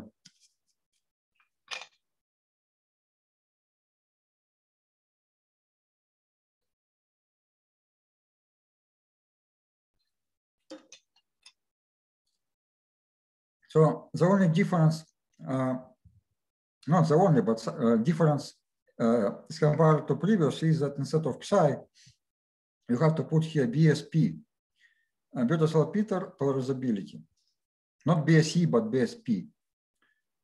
And also, as in previous case, you have to do some number, at least one uh, of GW iteration to generate initial approximation for W. Uh, there is some difference here as well. So instead of uh, a variable which we, we are using to describe approximation for first order vertex for polarizability, we're using approximation for the Bethe-Salpeter equation kernel. Uh, and this variable is also descri uh, described in input file, uh, PDF file. And um, abbreviations, it, meaning of these variables for sigma is the same as in previous case, but I'm using different like a psi 2 to distinguish it from the psi. Uh, well, I don't remember why I did it, but I, I believe there is some reason why uh, I distinguish these two variables. Another important variable for this kind of calculation is the number of uh, ladder terms or I call it number of iterations, uh, ladder iterations. In this case, it is four. Uh, usually for this material, it's good because it converges pretty quickly, but you can change this number and uh, see how it goes. Uh, the rest is the same. Uh, here is a very simplified calculation. As you see, only s orbitals and number of divisions is the same. Uh, as a variation of this calculation, I would recommend you to try some interpolation. For instance, take four by four by four here and here two by two by two, just to see how it goes. Uh, in this case, court will be using some interpolation to uh, put self-energy from vertex part into the uh, GW, uh, to combine it with GW part.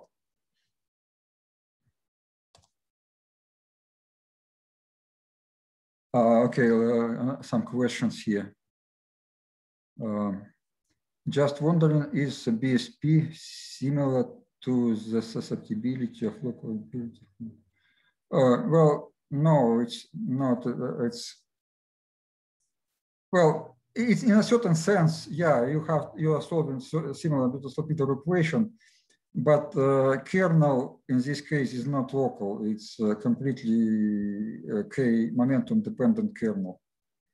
So in this case, uh, another difference is that uh, in DMFT it is it is local, but a lot more more complicated in a sense that it is has uh, three frequencies as arguments, right? In this particular case, I'm using kernel, as I was mentioned yesterday, just W, just one uh, line of interaction. So essentially kernel depends only on one frequency, not on three. So that are the differences.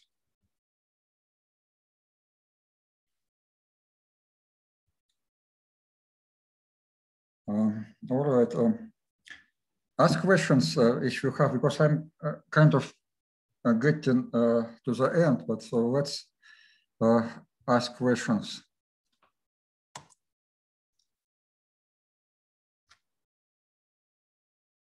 We still have one hour. is there a table for SimGen option?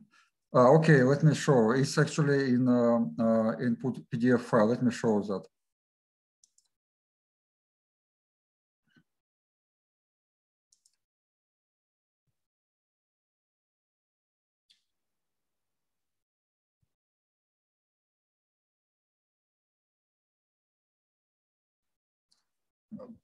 Uh,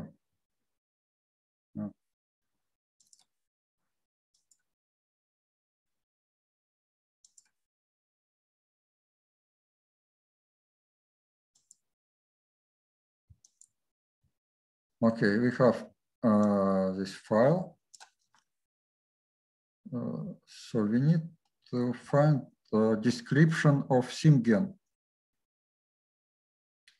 SimGen, uh, see, SimGen is here. So this is SimGen. So it provides the generators of symmetry group. And there are some conventions. So for instance, identity operation, E, uh, space inversion, rotation and fold rotation around uh, axis A. And A can be X, Y, Z or diagonal. Also maybe S and a screw axis. Um, then there another option of this is um, uh, a reflection in the plane orthogonal to the vector V. So it's very often you have some reflection in certain plane. So you take some vector which is orthogonal to that plane and put it here. Uh, then uh, fractional translation along vector Z. Uh, also, uh, sometimes some uh, uh, generator can be represented only as a product of two elemental um, operations. Like in this case, it can be only a rotation, six-fold rotation around Z, and at the same time, uh, uh, reflection uh, orthogonal to Z direction. But individual individual operations can be not symmetry operations, only combined operation symmetry. So you have to represent it this way. Yeah, and uh, time inversion, when, uh, which I already mentioned. Okay, so that's another question. Uh, can you please explain the notation for psi sig and psi p? Uh, okay, I believe we did it. Uh, uh let me go again. Uh, psi sig, for instance.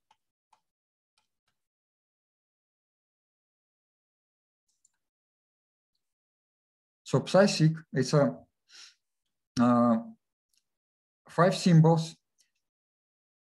As I mentioned before, actually only first symbol is meaningful right now. The rest is uh, reserved for future.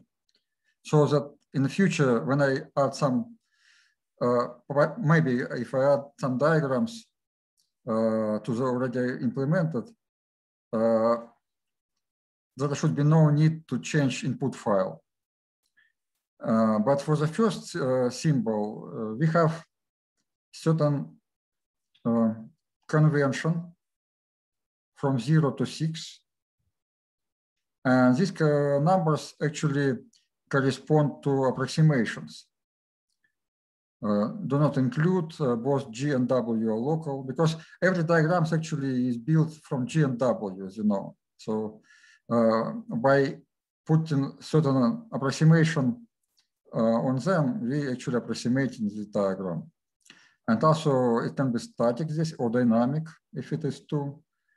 Uh, then, for instance, sometimes it can be like a half of k-dependent half, not like a W is local and static, but G in band representation, and so on. So there are some different uh, uh, vari variants so that's what's the meaning. And for polarizability, exactly the same. Yeah, this is written. Uh, so they're exactly the same as for psi p.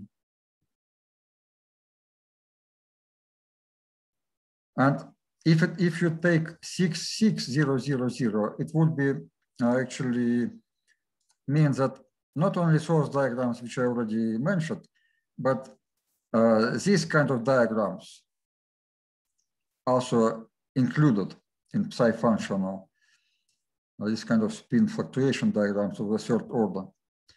And for these diagrams, uh, conventions are exactly the same. So if you put six, number six, it means that that second diagram would be also full momentum dependent and full frequency dependent. That's uh, the minimum.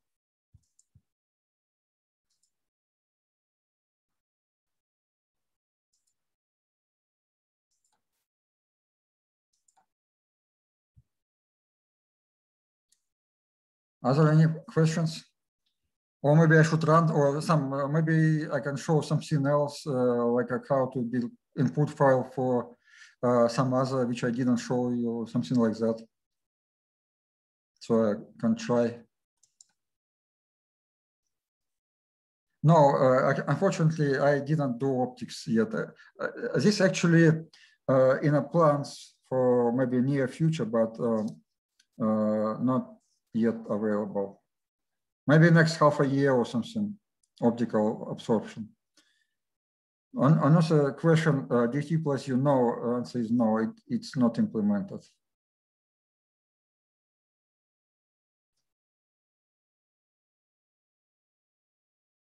Andrey, do you yeah? think that uh, self-consistent GW or or vertex corrections can can take away the need for doing the plus U? I'm sorry, Vincent, I, I didn't hear the last part. The last part. Do you think you know the physics of the U, of the Hubbard U, and yeah, Hubbard Hubbard U, yeah. Mm -hmm. That physics. Do you think it can be captured by doing self-consistent GW or by doing vertex corrections? Maybe maybe uh, those methods don't well, need you as uh, much. Well, I, I believe that uh, they shoot in, in the same direction, uh, kind of, uh, to take into account some correlation, but uh, uh, rather differently. You know, uh, yeah, I, I agree that some part of what is included in U and on, on one side, and another hand in GW they might, be similar. For some materials, maybe they're pretty much similar, but generally, of course, not the same. If you do, for instance, LDA plus U, just not DMFT, but plus U, as Gabi explained yesterday, it's just Hartree Fock, but not uh, a regular Hartree Fock, uh, like in band representation, but Hartree Fock for local uh, physics and only for source orbitals, which are uh, interaction of which described by you, right? Like only for d orbitals or only for f. So in this sense, if you compare this particular thing, then we can say that, yeah, LDA plus U is a kind of part of Hartree Fock, but local part. Mm -hmm. uh, but it doesn't mean that it is worse than, usually it is better than Hartree Fock, just because Hartree Fock itself is kind of you cannot do anything. It's just better Coulomb interactions there, right? Uh, but U is kind of adjustable and you can take it in such a way that you can, okay, I uh, not using full Coulomb interaction, but instead some reduced by, and by this I already took into account certain screening. And so results usually better than pure Hartree Fock, despite the fact but that it is just a local approximation to it. Uh, okay, now I mean, if, if, for like nickel, iron, and you know these these uh, transition metals where you yeah. where when you're doing DFT, DFT isn't good enough, so you have to add U. Can you get acceptable band structures uh, without? I mean, I mean the whole reason for for adding the U is to get a good, a reasonable band structure, right? And if you, uh, I was just saying, maybe you could even if you don't have U, you can still get an acceptable band structure from GW or from GW, GW plus vertex corrections. Yeah, uh, yeah, okay. Maybe you can do without U. Uh, yeah, uh, okay. Uh, transition metals like a 3D, uh, like iron or nickel, uh, they are pretty well described by quasi-particle GW, for instance. Uh, I believe the reason, uh, but not full GW. Uh, I believe that in these spin polarized uh, systems, like iron or nickel, it's important that long wave limit of Ward identity, which we essentially uh, somehow manually satisfy in quasi-particle, but we don't satisfy it in a full GW.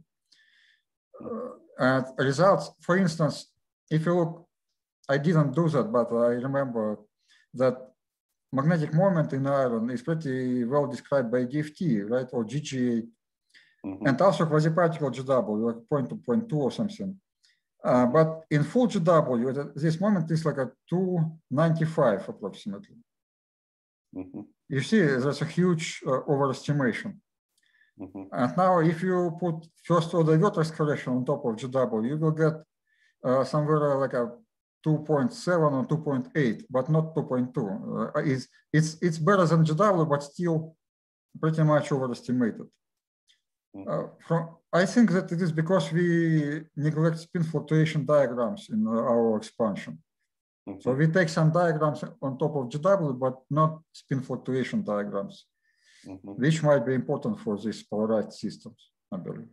Mm-hmm. So overall, what you're saying is that QSGW, if you're doing QSGW, you may be able to do without the U.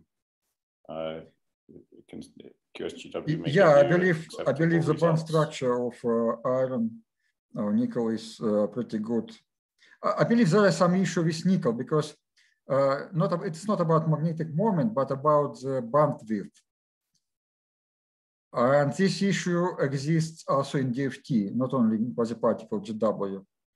Mm -hmm. uh, I believe experimental bandwidth in nickel is 0.3, but DF, both uh, DFT and QHW give 0.6, twice larger. Mm -hmm. Uh, for, sorry, for what quantity? So you can. It's for nickel. For nickel, what is it? The magnetic moment is wrong? No, no, no. It's a bandwidth. Bandwidth. Valence. Oh, bandwidth is wrong. Yeah, bandwidth. Yeah. I guess magnetic moment is okay, but but uh, bandwidth is overestimated, and I believe that this uh, question is not resolved yet. I think Schilfgaarde has some ideas about it. I think I saw a slide uh, about that. Sorry, sorry. I think I saw a slide by Mark Schilfgaarde where he had some ideas about what's wrong with nickel. Yeah, I guess, uh, yeah, Mark Schilfgaarde was, uh, has some works on that point. Mm -hmm. Okay, I guess we have some questions. You're saying that the optical absorption with BC is not implement, yeah. But well, first of all, the, the question about temperature, temperature doesn't matter, but if you have a lower temperature, then you need more K points. So yeah, that's right. how it affects the computational speed. Okay. okay, go ahead. But if we include the ladder diagrams and the polarizability, shouldn't the corresponding dielectric function include the excitonic effect? Yeah, it's absolutely right. Uh, absolutely right. Uh, let me, I, actually have some graph maybe for that. I, I did some, but uh, a right answer that it is not implemented because I thought you mentioned something uh, like Bethe-Salpeter equation with uh, zero frequency uh, W, which we can solve uh, like a, by one diagonalization. And after that, we can get some two particle eigenvalues and pre, uh, construct a very accurately uh, absorption on the real axis of frequency. This is not implemented. But of course, I can do uh, something similar as you wrote here on Matsubara axis and then try to analytically continue. Unfortunately, this analytical continuation is uh, pretty not very good for bosonic quantities. I will show an uh, example of it. Uh, let me and also, I, I can uh, do only do that for k points different from gamma point. Because for gamma point, uh, we have certain things uh, which is done numerically, like you know, head of polarizability. And this numerical work uh, makes uh, Matsubara frequency dependence rather like a noisy a little bit and uh, analytical continuation just doesn't work. But uh, for other K points, different from gamma, it is possible.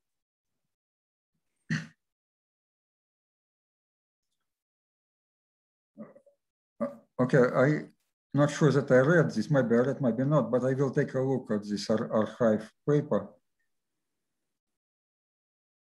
Uh, but not right now, maybe. Yeah, thank you. I, am I'm, I'm going to show some graph.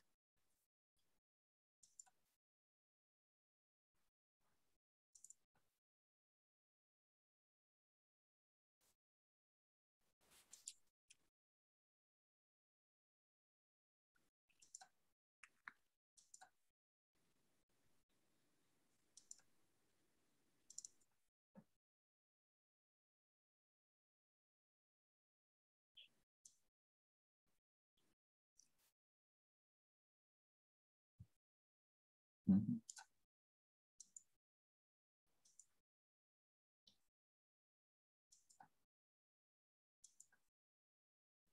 you see screen now? Okay, uh, in that paper uh, for semiconductors in uh, 2017, uh, where we solved Hedin equations, uh, in the end, I did maybe it's not exactly what you were asking about optics, but this energy loss spectrum of lithium fluorine at uh, non-zero Q, uh, Q point. so for this Q point, I was able more or less uh, uh, continue analytically the Matsubara dependence for the uh, dielectric function and plot it on real axis. Uh, so yeah, there's certainly improvement. Uh, A is GW and D is uh, Bethe-Salpeter equation here. Certainly there is improvement uh, as compared to GW case. You see the experimental energy loss spectrum. But in order to do that, I had to increase number of Matsubara time points, maybe factor of three, as compared to just self-consistent calculation for band gap. And also the same uh, for number of frequencies, just to make sure that it is sufficiently stably can be continued. So I believe it is at least partially answers the question. So yeah, I can I can do certain work, but uh, uh, this uh, graph, uh, you know, it's rather smooth, doesn't have any features like you usually get when you do it initially on the real axis. That's the difference.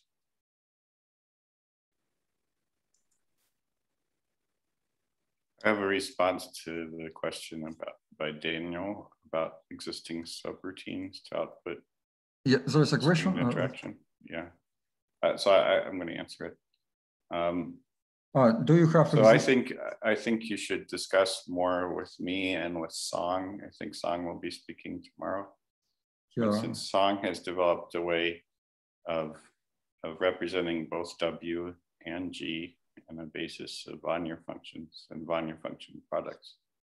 And uh, all of those go on disk. Um, there are also ways to get, uh, also I know how to get, um, how to, how to get W and, and the original product basis on disk. Um, and anyway, it's all there. It's, but as for what you would do with it, it's sometimes it can be I think I think yeah, yeah um, a little bit hard to, to use it to figure out how to use this data, but I, it's there. Yeah. I believe uh, there was similar question yesterday about W. Um, actually, of course, it's pretty easy to print some eigen, uh, not eigenvalues, uh, matrix elements of W in any basis set uh, but uh, the issue here is that I have it in uh, the function of Matsubara frequency. So whatever I do, it is function of Matsubara frequency. But usually when we look at W, I'm not sure that it is interesting at function of Matsubara. Usually people are interested in real frequency function because as a function of real frequency, it shows some plasmons, you know, like uh, some structures which we cannot see on it when we look at it as a function of Matsubara frequency. So is it a question about that or is it just any frequency?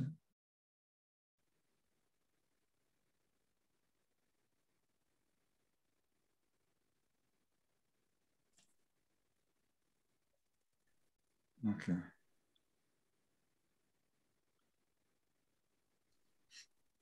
Can I ask you a question, Andre? Yeah. Uh-huh.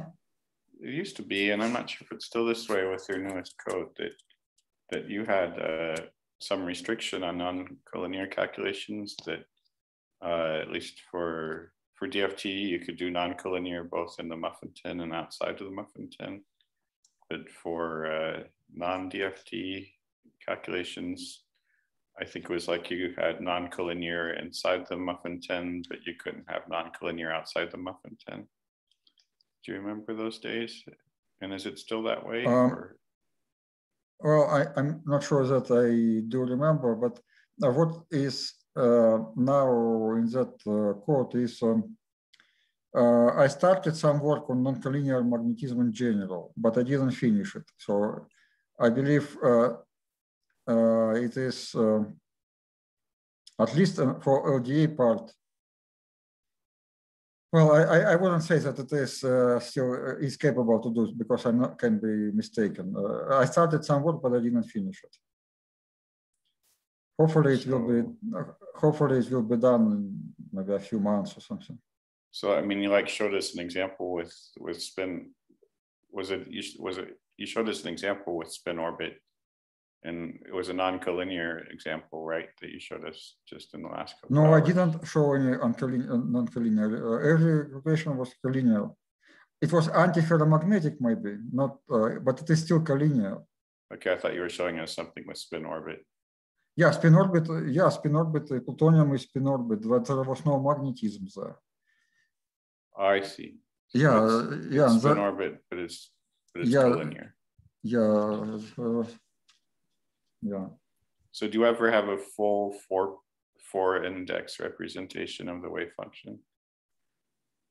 I mean, uh, for index four four component. Yeah, four it is component. for four component. Uh, yes, of course, it is four component in the Dirac equation. Yeah. Yes. And that's both in the core and in the interstitial region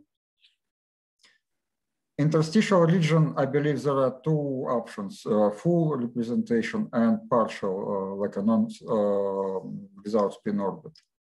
Okay. So you could, and you can do GW with, with the full four. Uh, GW, I believe, is only for the simplified interstitial. Uh, okay. Uh, so for GW, you do have a restriction on the interstitial region. Okay. Yeah. I, I believe there is a paper, let me show you whether this question is specifically uh, investigated. Is that the recent paper? From yeah, I think that is a recent paper, yeah. Yeah, I, I, know about the one from December. If you, you probably know that uh, it's PRB, PRB paper. Mm -hmm. Let me show. So coming back to Daniel's question, he said he asked about getting the full W in the band or product basis. Um, can when you get W, is there any way to get W as a four by four? Because uh, four by four in a version of W. In other words, the the fully non-collinear representation. Of, uh, of sorry, is it, is it is it in the chat? Uh, is it written in the chat somewhere or? Uh, no, this is sort of a follow up to Daniel's question, who was asking about the full W. And so I'm asking you if if we get in in I, I mean uh, full full W in either the band or product basis. Uh, yeah. So uh, of course W is uh, represented naturally in product basis set. Mm -hmm. So uh, in band representation, no, I don't have it, but it can be done, of course, if it is uh, some uh, kind of importance. Uh, so it just involves evaluation some matrix elements. Yeah, I mean, my follow-up question is, can you get the full W in a fully non-collinear version In other words, it, it would be a four by four matrix. Because In non-collinear version, um, uh, it would be a I- map. it- I'm not sure what, ah, I mean, ah, I see. So you have spin indexes, for instance, on the wave functions, right? And then you take matrix Yeah. element. So it can be like uh, four different spin directions, right? Right. Well, I don't have it right now, but uh, I guess maybe in principle it is possible. It's possible, but it's not there right now. No, Okay. it's not there, no. Yeah, that's what I thought. Okay. Okay, one new message. Vertex tensor. Is the vertex tensor written in some output file? Um, not actually, it, some components, maybe let me take a look. I'm printing certain components, but I'm not sure that it is what you're meaning. No, no, in- not in this form. There is not that form of the. The, the issue with this question uh, for me is that actually I never evaluate vertex explicitly uh, by like a three uh, point function. Uh, instead, I am doing diagrammatic construction for polarizability and for self energy, which uh, includes version uh, vertex, but not. Uh, it's just computationally more efficient to evaluate in a certain way, like a adding line after line, instead of evaluating vertex as a whole and then somehow use it. Uh, so uh, no, I don't uh, have vertex written in some output file, but some uniform, I believe, component, uh, which means uh, uh, zero bosonic uh, uh, frequency and zero bosonic momentum. I believe there is here, uh, like on this imaginary part, like a im- imaginary vertex uniform, and there should be some real part yeah, uh, somewhere. uh, Yeah, real part.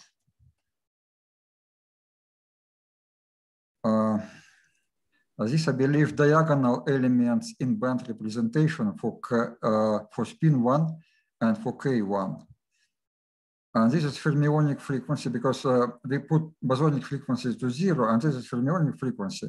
And this is six, I believe, bands, diagonal components.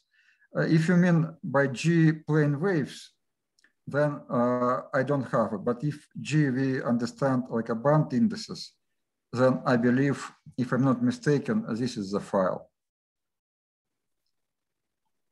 This is the file, I believe. So this is diagonal in band representation. So it's not exactly what you're asking, but uh, more or less maybe similar. There is a real part and imaginary part.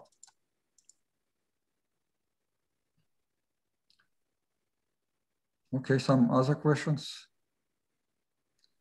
Maybe we uh, should discuss some input file for something which we didn't do. There at is least. There's one question right above the vertex question. Uh-huh. Uh, is uh, somewhere here. Yeah, in the chat Um, let me see. I- about the wave function related properties. Uh, could uh, could we calculate the wave function related properties like electron localized function? I'm not uh, pretty sure that I understand what does it mean electron localized function. I- And something to do with Wannier functions? I don't know. Uh, well, when wave, wave function related properties, wave function, is it a many body wave function or it is uh, meaning as some one electron wave function? Because sometimes it means like a many green function, uh, uh, like a description and wave function, many body wave function description. Or it is just one electron wave function. Uh, one year, no, I don't have Wannier function if it is about Wannier functions. So if it is about that, uh, I don't have it. But we do have, we do have. Yeah, yeah, yeah, Elsewhere in Yeah, in for- another codes of Comsuite, yeah, there are Wannier function, but not in this. one, Yeah. No, now the, the question is being refined. It's saying it's not really about a many body wave function. It's more about density. Mhm. Um, Elf. What's elf? Yeah, what is elf? It's not my, ah, it's, it's, ah, okay, yeah. Uh, Electron localization. ah, electron localization function. No, I, I actually not even familiar with this. Uh, uh, what it is, uh, sorry. I, I have to read first before I can answer. Electron localization function. No, I'm not familiar. I'll, look for a minute. Sorry. I think it means a plot of the density of an, of an individual wave function. So it, it, so instead of plotting the total electron density, plotting the electron, the density of a particular wave function. Yeah, might be. So, I mean, the funny thing about that is, uh, you know, it just depends on how you set up your wave functions. You you can do a Wannier transformation on them and get Yeah, maybe. maybe what you want is to plot the choose some choose uh, Wannier functions first and then plot the the density of Wannier functions and there is functionality in in Comsuite for for outputting the spatial density of a Wannier function on a spatial grid and plotting it using XCrySDen. Um, so if you if you but if you wanted to use some other wave function, you could conceivably just um, supply what you think the, the Wannier matrix should be that specify that wave function and then and then our code could put it out on a spatial grid. I'm not sure if that's exactly what you're asking. Okay. Um, oh, I I guess there is a question. Could this code be used to calculate single molecules? Uh, technically, yes, uh, but I never did it. So we have to just place it in a box uh, sufficiently large to um, uh, to imitate uh, uh, infinite uh, dimension. But um, I would say that, yeah, it is pretty easy for DFT, I believe. But for more involved uh, methods, uh, uh, you will have to take a lot of plane wave, uh, plane waves to describe empty space on that box. And it would be rather inefficient, I believe. Uh, but I don't have experience with this with molecule calculations. You're welcome.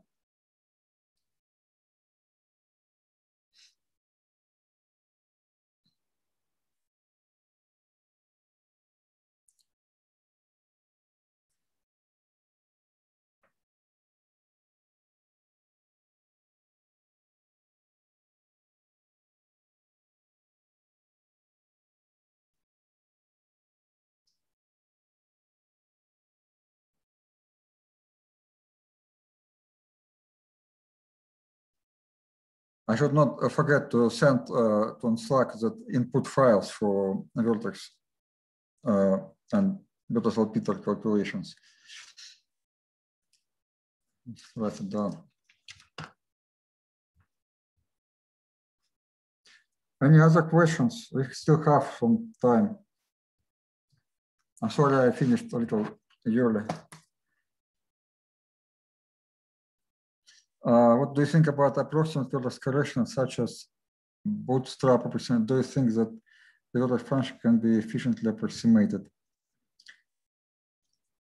Well, as far as I'm familiar with bootstrap, is uh, some kind of uh, selection uh, selection of the dielectric function, right?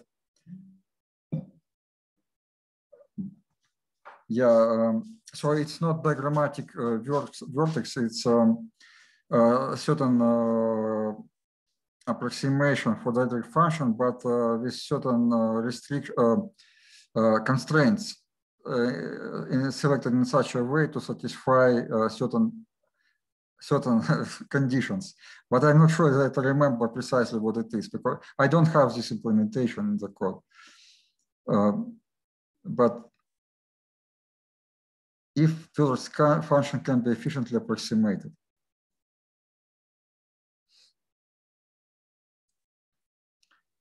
I believe that uh, at least for some applications, for instance, we can use uh, uh, LDA approximation for vertex function. So uh, what what it means, it's, it means that that functional derivative of self-energy with respect to Green's function, which enters the Bethe-Salpeter equation. If we take exchange correlation potential for LDA instead of self-energy, and instead of Green's function, we take its limit like a density, uh, then uh, we actually can, vertex function becomes very simple in this case, uh, but this is LDA approximation for vertex. I believe it is pretty good for like alkali metals. And I believe there are some number of works on this particular account. Uh, I think the approximation is called adiabatic, adiabatic density approximation or something like this. But I'm not sure that if I correctly remember that. But yeah, but it is it doesn't mean that it is working well for many materials. Essentially, it works there in so, such such materials where LDA itself is good enough. Like alkali metals. But bootstrap, uh, first part of your question, bootstrap is mostly for insulators.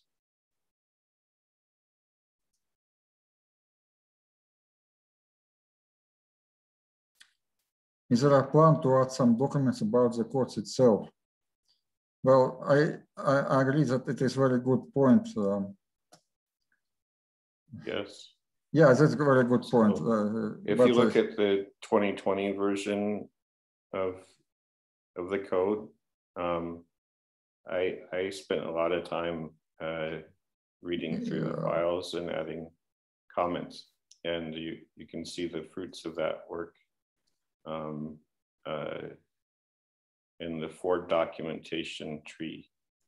There's a Ford documentation tree that's on the VM, and you can go look there and see. Uh, yeah, that's, I understand that it's very, incomplete. very good point, uh, but I, I'm not sure that I capable to extensively write these documents. Yeah, that's why. Yeah, can- i i- it's just, you know, it's an, um, well, I, I have certain plans uh, for the rest of two years of the contract and uh, they are about implementation of certain things. Mhm. So it, it, really, uh, yeah, this, writing this documentation is a huge amount of work. Yeah. Uh, okay, how good would the various post-DFT methods today on materials like lanthanum, cobalt? Or would it be better to go to the DMFT? Well, to answer to this question, I, uh, I wouldn't risk to predict what is performance. Uh, I have to try. Uh, it's hard to say. Maybe DMFT is uh, better for the first trial because it is, I believe, more um, uh, computationally, less computationally expensive, especially if it is uh, LDA plus DMFT. Uh, because uh, in this material, um, I believe it is cobalt, right, uh, what would be a correlated part? And cobalt is d electrons. So it should not be very time consuming. If we if we try uh, GW, we can do it, of course, but vertex would be expensive. Uh, I fortunately I don't have still uh, a lot of experience in different materials to predict how performance would be.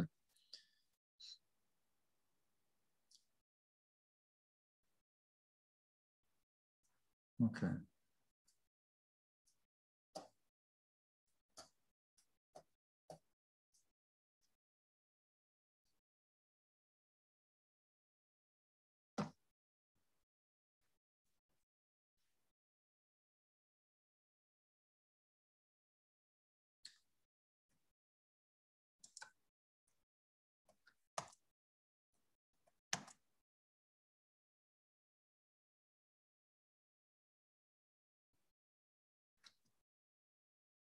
Is there a plan to use GPU accelerator? Well, that's uh, another very good point. I don't have specific plan for that, but uh, because first of all, because I have no uh, experience or knowledge about GPU, for me, it's kind of jump in, into something quite different. But if anybody wants to somehow implement certain part of the code, it maybe would be a good uh, to accelerate yeah, GW further. So I have a comment. Um, for GPU acceleration in general, uh, it's hard to get uh, more than a, for linear algebra calculations, it's hard to get more than a factor of two or so acceleration. Um, yeah. And in general, as you get as you get more and more acceleration, you have to rewrite your code.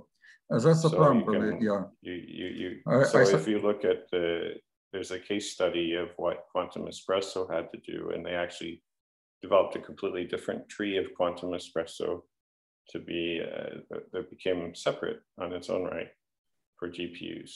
Um, so it's just a hard thing to do. It's very intensive. You can make yeah. uh, some progress, but it's limited. But what we do have is for our CTQMC solver mm-hmm. for DMFT, we have GPU acceleration, and you'll hear about yeah. that tomorrow, I think. Yeah. I, I, believe the issue with this particular code uh, respect to GPU is that uh, the time-consuming parts of the code, they are not uh, localized in certain subroutine. They actually uh, in many pl uh, places. Uh, if we talk about vertex corrections particularly. It's not just some kind of matrix diagonalization part or some specific well-defined part. It's scattered in many places. So if you try to write this, we have to, as Vincent say, uh, rewrite a lot of uh, code. So it's a lot of work.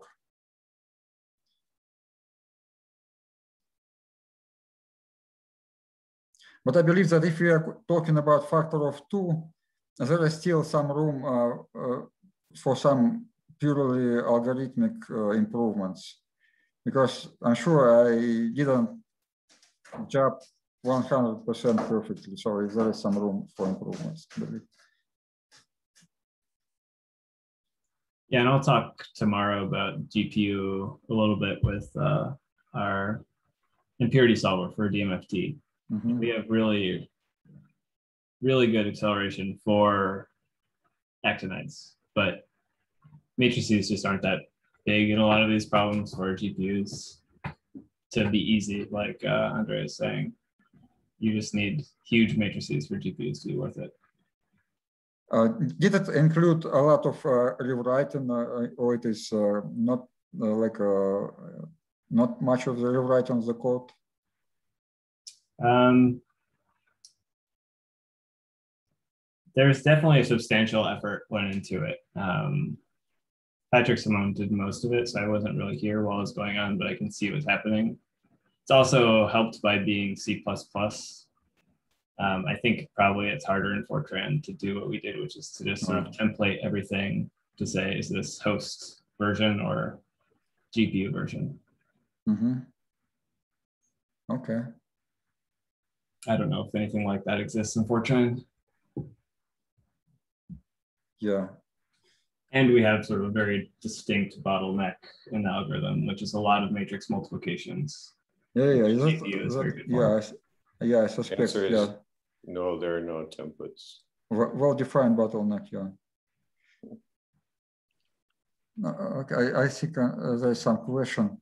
If we were able to include more and more orders in Hedin's equation, should be eventually converged to the DMFT results for correlated systems.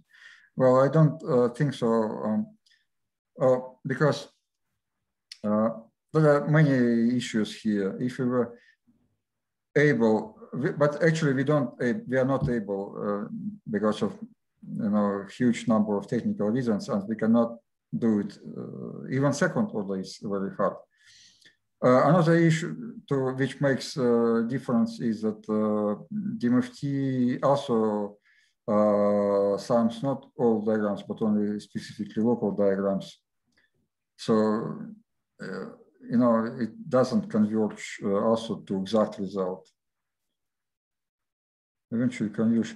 So the answer I would say no, eventually we wouldn't converge to the same result.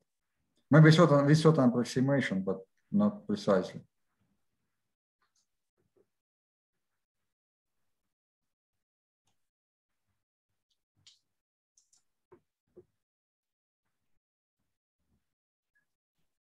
Well, this actually some uh, uh this point is that DMFT itself it depends how you think about it, because essentially, if you think about it as something uh, not necessarily uh, local, but uh, it's just some some some subspace of a big space only uh, involved in a correlation correlated uh, description, then probably it's more or less similar. Because but once you start making approximations like local approximation or you describe only d electrons and if we introduce uh, parameter Hubbard parameters of course you already uh, converge in only in a certain subspace.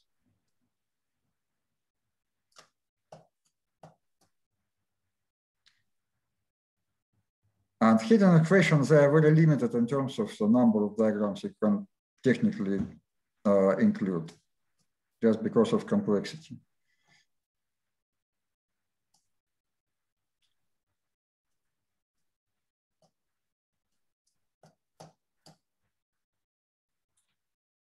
You know, this is this question about converging and stuff. That's why we have a multi-component approach in Comsuite yeah. We have mm-hmm.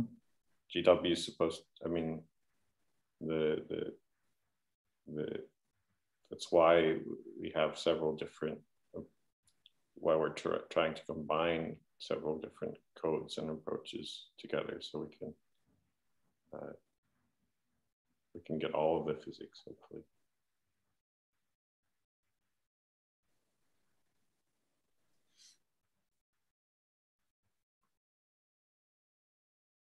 And that's uh, you know there are lots of DFT plus DMFT codes, but there are not so many GW plus DMFT codes. And one thing that stands out with this GW code is how efficient it is, and um, so we, really have the possibility of of doing, in fact, at least can the idea is that if you did a GW plus DMFT calculation right, you wouldn't have any adjustable parameters. Um, so that's a kind of an overall idea that we're aiming mm -hmm. for.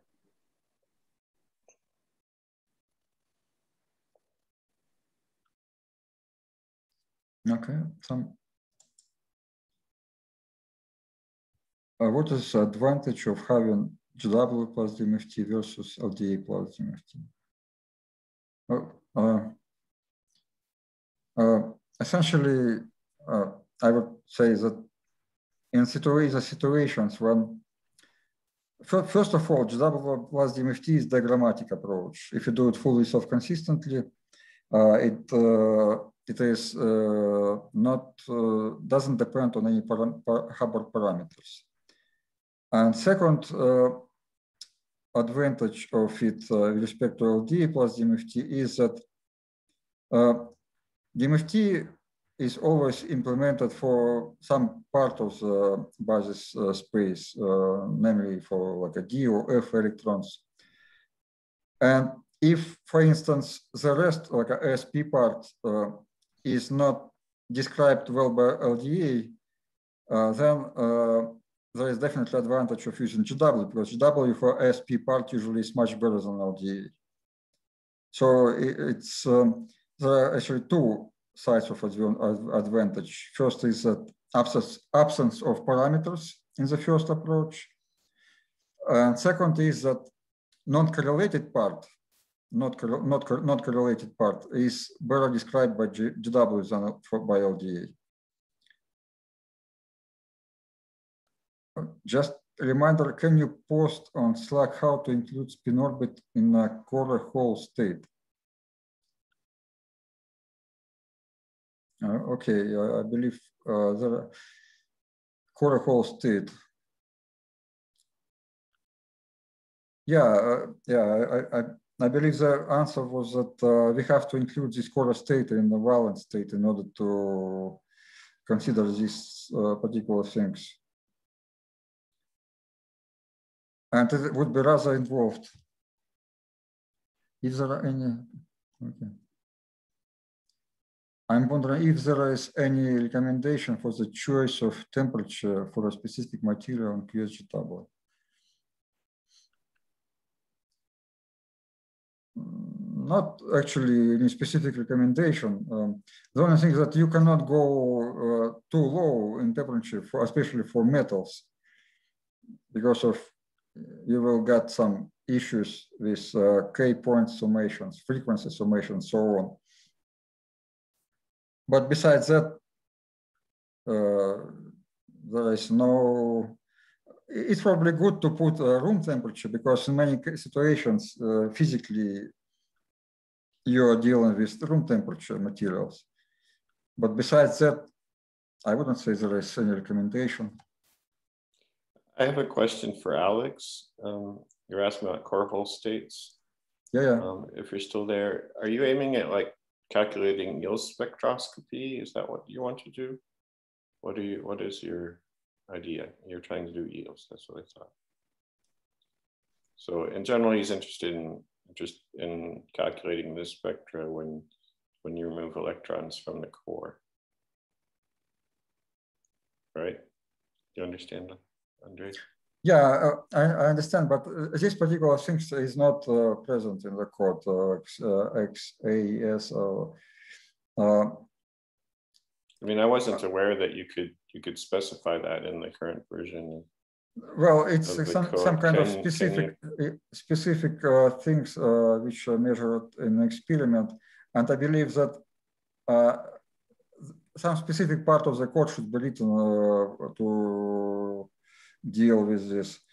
Uh, the question before uh, before was uh, more or less general. Just, just to follow up with, could you could you with the current code as it is, say in the INI file, tell tell it to leave to leave a hole in the core, and and just calculate well while keeping a hole in the core. no, I don't. I don't think I, I directly can do that. Uh, I, uh, in, know, in these things, I believe the approach should be uh, to specifically uh, describe, uh, write uh, the code specifically describing the process which uh, is measured in experiment. what I was thinking before answering this question is that if we can approach it generally, generally we can, but it, it would be rather inefficient because it would be part of the valence state, and then every orbitals which involves in, uh, uh, valence basis should be included in uh, electron hole interaction process. Uh, it's technically possible, but practically it's not useful. For this particular part, we have to include in the process only specific core state, which we are interested in. And only for this specific order state, we should describe, uh, but this is not available in the code. That's I can tell. So I cannot just take and describe this kind of experiments right now. Would it be that hard to, to say remove? Well, I, well, I, hard or not, I, I mean, would it, would, I mean, would it would it be trivial or non? Trivial? No, it's not trivial. It's not trivial. It certainly will uh, involve certain uh, work, uh, but uh, okay. whether whether it is like a month or two, I I cannot tell. I, you know kind of have, have to I have to start to do that in order to feel uh, the complexity. In the last? Five, ten years, there's been, a, in fact, just no, it's, I, I, I, so much I'm, interest. yeah. No, I think it should not be five years. No, it's no, no. I was saying, I was just saying recently it's just been a, a huge interest in eels and XAS and I the sort of core hole spectroscopy. There's been a huge amount of interest and it seems to be multiplying every year. So that's I just wanted to tell you. There are Oh, okay. there are uh, hopes that we'll be doing optical spectroscopies. Um, I'm working on ARPES module, for example, um, but it's not in the current scope of the center, so it sort of depends on um, funding and where things get allocated. But we're hoping that we get to do these things and support them. Yep. And there's some we have like EDRIXS, but Hmm. Um, it's just as like a localized assumption.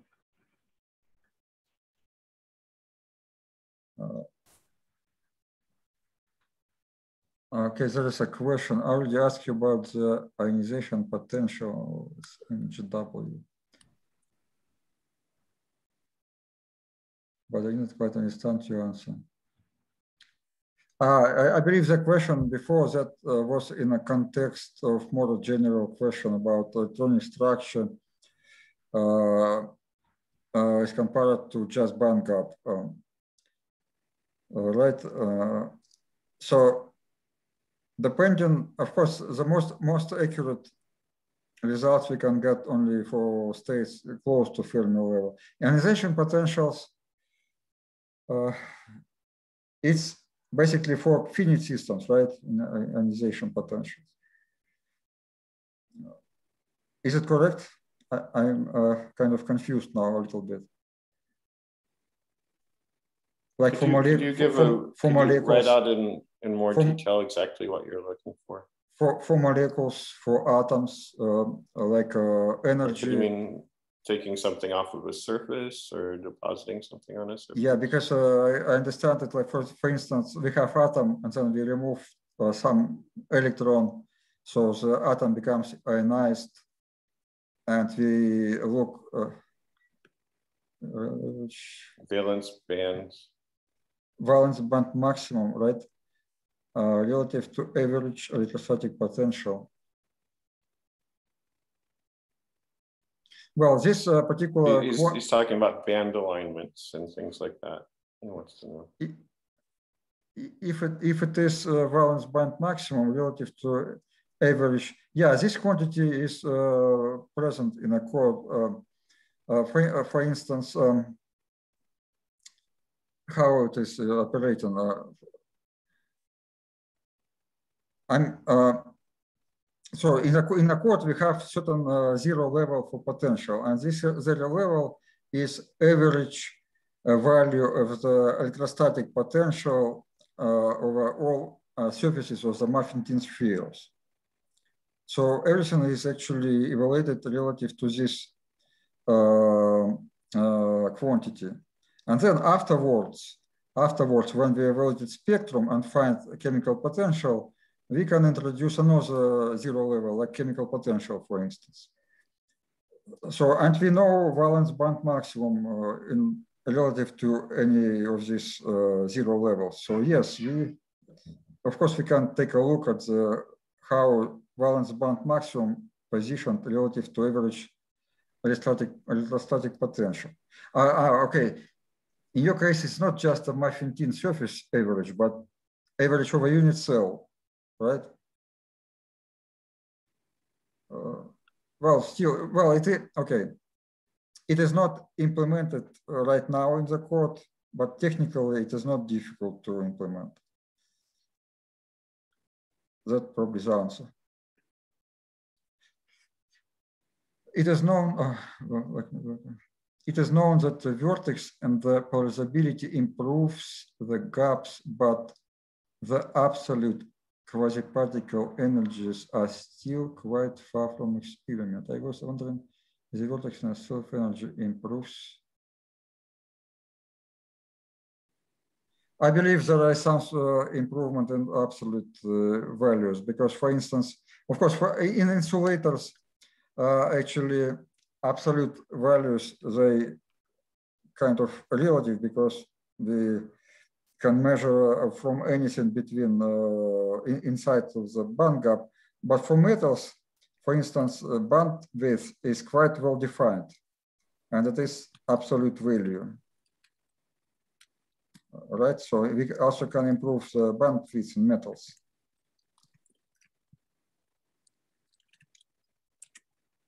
Also, I believe that in insulators, uh, we can improve not only the band gap, but for instance, eigenvalues in specific uh, K points of the Brillouin zone as compared to, for instance, GW approximation. And I believe that in order to do that, it's important to include vertex not only in the polarizability, but also in self-energy. Uh, because I think uh, the effect of this is more or less uh, equal, uh, uh, I mean, polarizability and self-energy. If you include only one of it, the effect would be more or less half of the flow effect. Did you just I, answer that one about G naught W yeah? Yeah, this, uh, I didn't the, understand the, your answer. The question is about uh, vertex in, in polarizability. Uh, uh, the question is, is self-energy vertex. Oh, there's there was a question, about G naught W naught. Yeah, yeah, yeah. Like, like I, I, told everyone that, that we could do G naught W naught, and then you said no, we can't. And he's saying, why can't we do G naught W naught if we just do one GW iteration? So yeah, we can't do I have the same question. Why is that not GW, G naught W naught? Well, technically, we can say that it's the same, but uh, not technically, how to say. Uh, yeah, we can do one iteration, but it is not exactly what uh, G0W0 does. Why it is not so the same? Because I'm using a certain uh, accelerated process to converge uh, core uh, density in GW calculation or in Hartree Fock, which means that in G0W0, we don't touch core at all. That's the point. Uh, so, so you'd have to turn off the core relaxation. Yeah, you'd have to yeah. turn off the core for for an iteration. Yeah, yeah, yeah.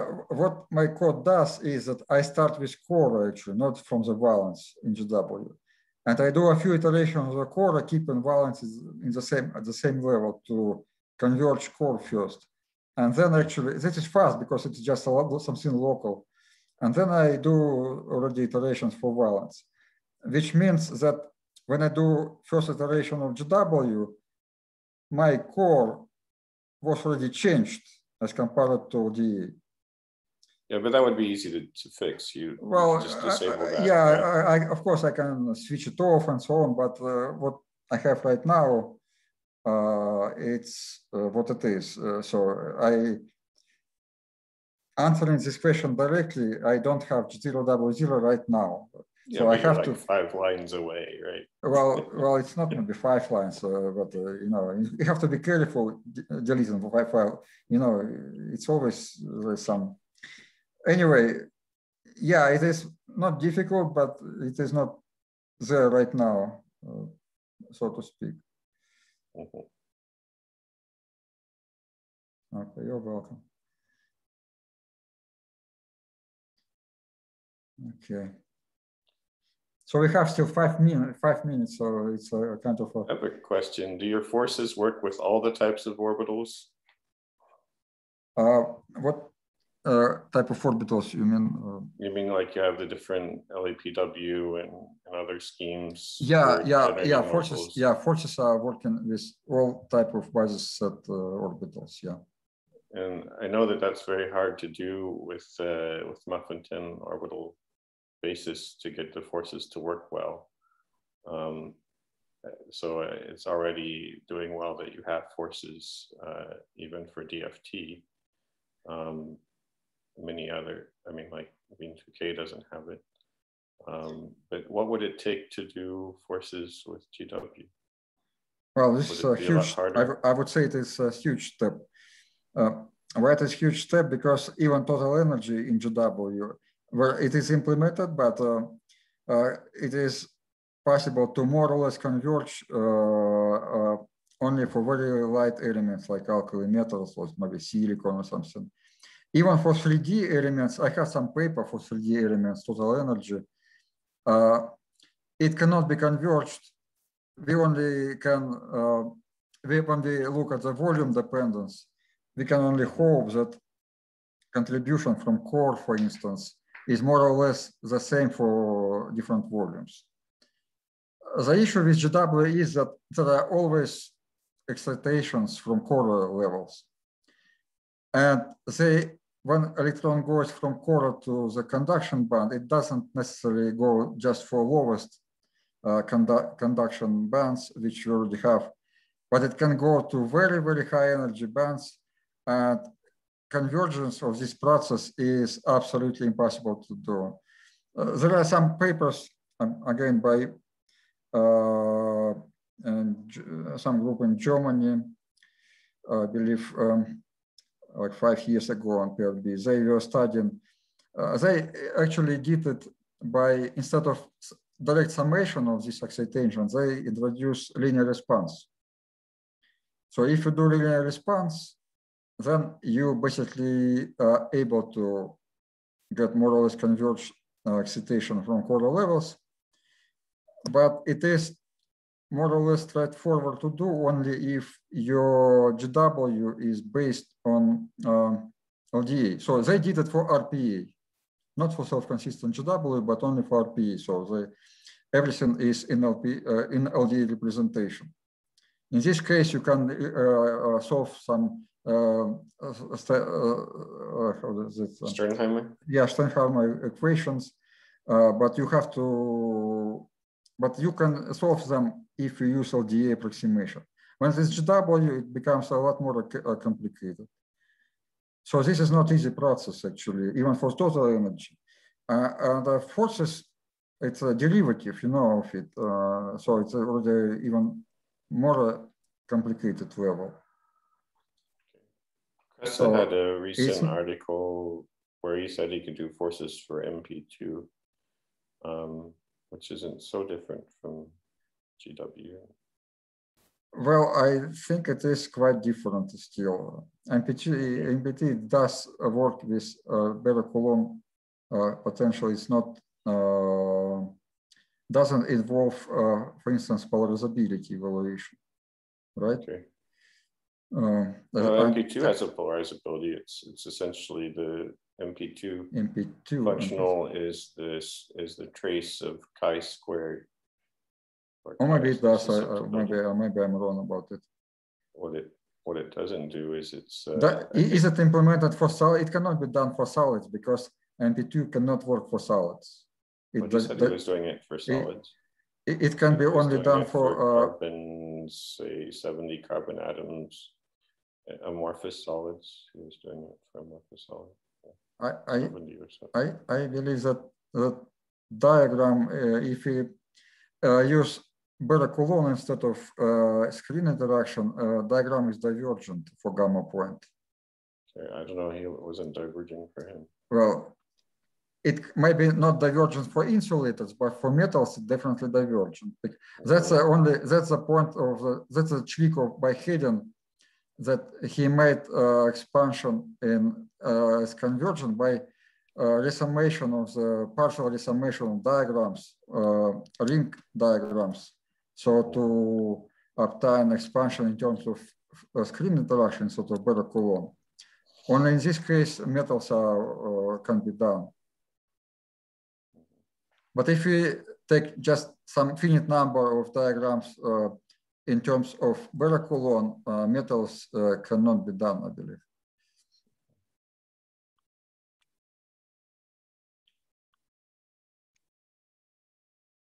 Coulomb interaction is divergent at uh, zero momentum as one divided by q square.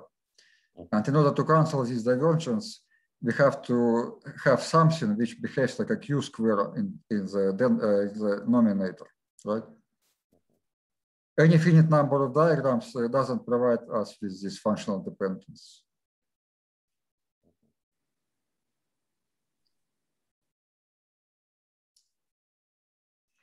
Okay, um, I believe uh, the forces uh, for MP, MP2 uh, were implemented long time ago in, for molecules.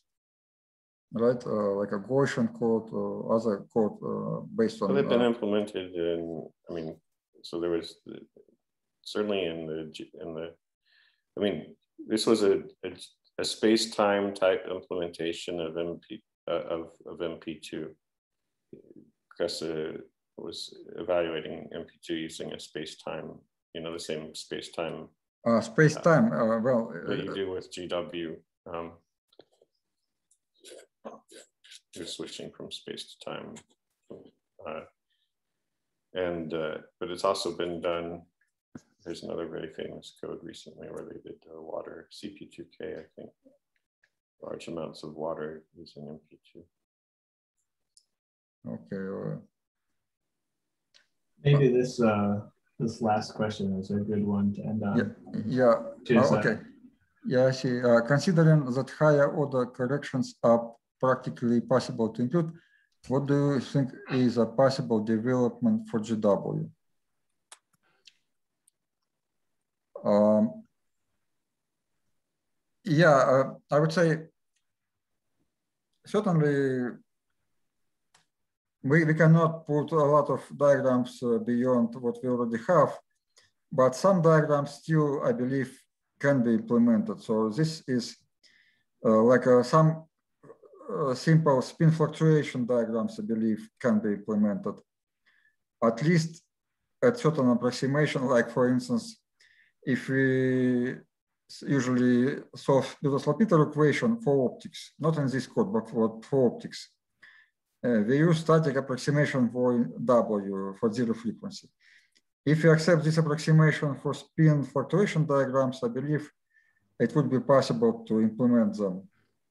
So that one way of development of GW direction. A possible development for GW. Another natural way to development is GW plus DMFT, which is uh, another world, I would say, which is still, I believe, um, uh, in the process of uh, implementation. Certainly, depending on the approximations you're making, there's a lot of room to make of improvement for the GW plus DMFT. Um, right now, it's pretty heavily approximated. But I think that's probably a good place to end, right? Uh, I'm sorry? I think that's probably a good place to end, right? Yeah. I think so. Uh, so I believe we are, we have to. We'll be talking again tomorrow, right? Yeah. So, So thank you very much, everybody, for the participation and that discussion. yeah. Uh, see you tomorrow. See you. Thanks, Andrey. Uh, thank you. Thank you, Holly. Thanks, everybody. Yeah. Thank you. Thank you, Eileen. See you tomorrow at 10 a.m. Yeah, see you tomorrow. All right, bye-bye, Corey. Bye, Vincent. Bye bye. bye, bye. Bye.